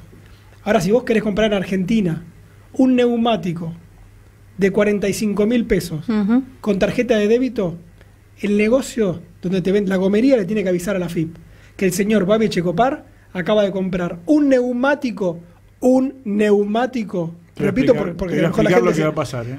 Por, por, por 45 Sí, mil pesos pero y los tiene en su caja de Sí, ahorro. pero ¿sabés con qué, con, a dónde vas con esto? Aquello vaya a la comería y digo, ¿cuánto cuesta? 45. Te lo pago efectivo, pero no figuro en ningún Claro. lado. Eh, bueno, claro. Dale, dale, dale. ¿No ves que fomentan el negro? Permanentemente se fomenta el Eh, negro. Pero hoy nos gobierna el Y, delito. y por 40 a lo mejor. Y Claro. 38 y Sí, 38. también, 38 también. Hoy el que tiene la guita manda, la, manda el dólar, como siempre. Pero no lo permiten ellos. Entonces, yo voy y digo, mirá lo que pasa en Martínez, te lo conté y lo vivo contando. Una casa de 1.200.000 dólares, un amigo la vendió en 700.000. Porque hoy el tipo la tiene un año. y No nadie- la va a vender a ese nadie- precio. Nadie va a enterrar un millón y medio de dólares en una casa, acá, hoy, con este gobierno. Porque esto es como Venezuela. Eh, Una vez me ofrecieron en Islas Caimán una casa en 15 mil dólares frente al mar. Digo, ya, ya, para invertir. Está loco, viene Maduro y te la confisca. Donde vos no viniste, mete una familia a vivir adentro, que es lo que pasa acá. Entonces, un tipo que tiene, ayer se vendía el departamento de Gasalla, tiene creo que 200 y pico de metros, Sí. en Recoleta 600 mil mangos, y de, dólares. Dólares. Y decían, es una fortuna, y la verdad que no. Y no, no. Pero nadie se lo va a comprar porque nadie va a poner un peso en la Argentina. ¿Entendés? Nadie está comprando nada acá. Porque la gente le clava, vas a ver que cuando agarras dólares, Washington es tuerto. Tiene todo el ojo pinchado con una chinche. La gente clava el dólar y no lo mueve. Ayer me causó mucha ternura el programa Los 8 millones de, de- los 8 escalones del millón. Sí. Programa de Guido, eh, uno, Claro. que, uno que participa, viste, vos tenés que decir para qué necesita la plata. Es un millón de pesos. Y, y el, el hombre dijo, no, yo me, me separé alquila, y ahora estoy alquilando, me quiero comprar un departamento con crédito hipotecario. Ay, mi amor. Ganó el millón. Son 5 mil dólares. Nada, Claro. no llegás ni a los 5.000 trámites. No llega el enganche, no llega el enganche, no. Anda, anda a buscar crédito. Anda a un banco, se te ríen. No sé Decirle ni- crédito hipotecario te dicen, ¿qué? Yo no sé lo que. ¿Qué es Pero también convengamos que el señor Moró, cuando ganó Alfonsín, llevaba a los colectivos de, de gente al banco hipotecario a sacar créditos que no pagaron nunca. Porque este choreo es la, la cola, el disparador de- del choreo que viene desde que la democracia volvió. Amé a Alfonsín, amé la democracia, pues yo lo llevé personalmente a Moró. ¿eh? Me llevas hasta el banco hipotecario y después me ¿Y sabes qué te decían en el alfonsinismo? ¿Querés un crédito del banco hipotecario? Y yo le decía, ¿con qué lo voy a pagar? No, olvídate, pagar tres cuotas, olvídate.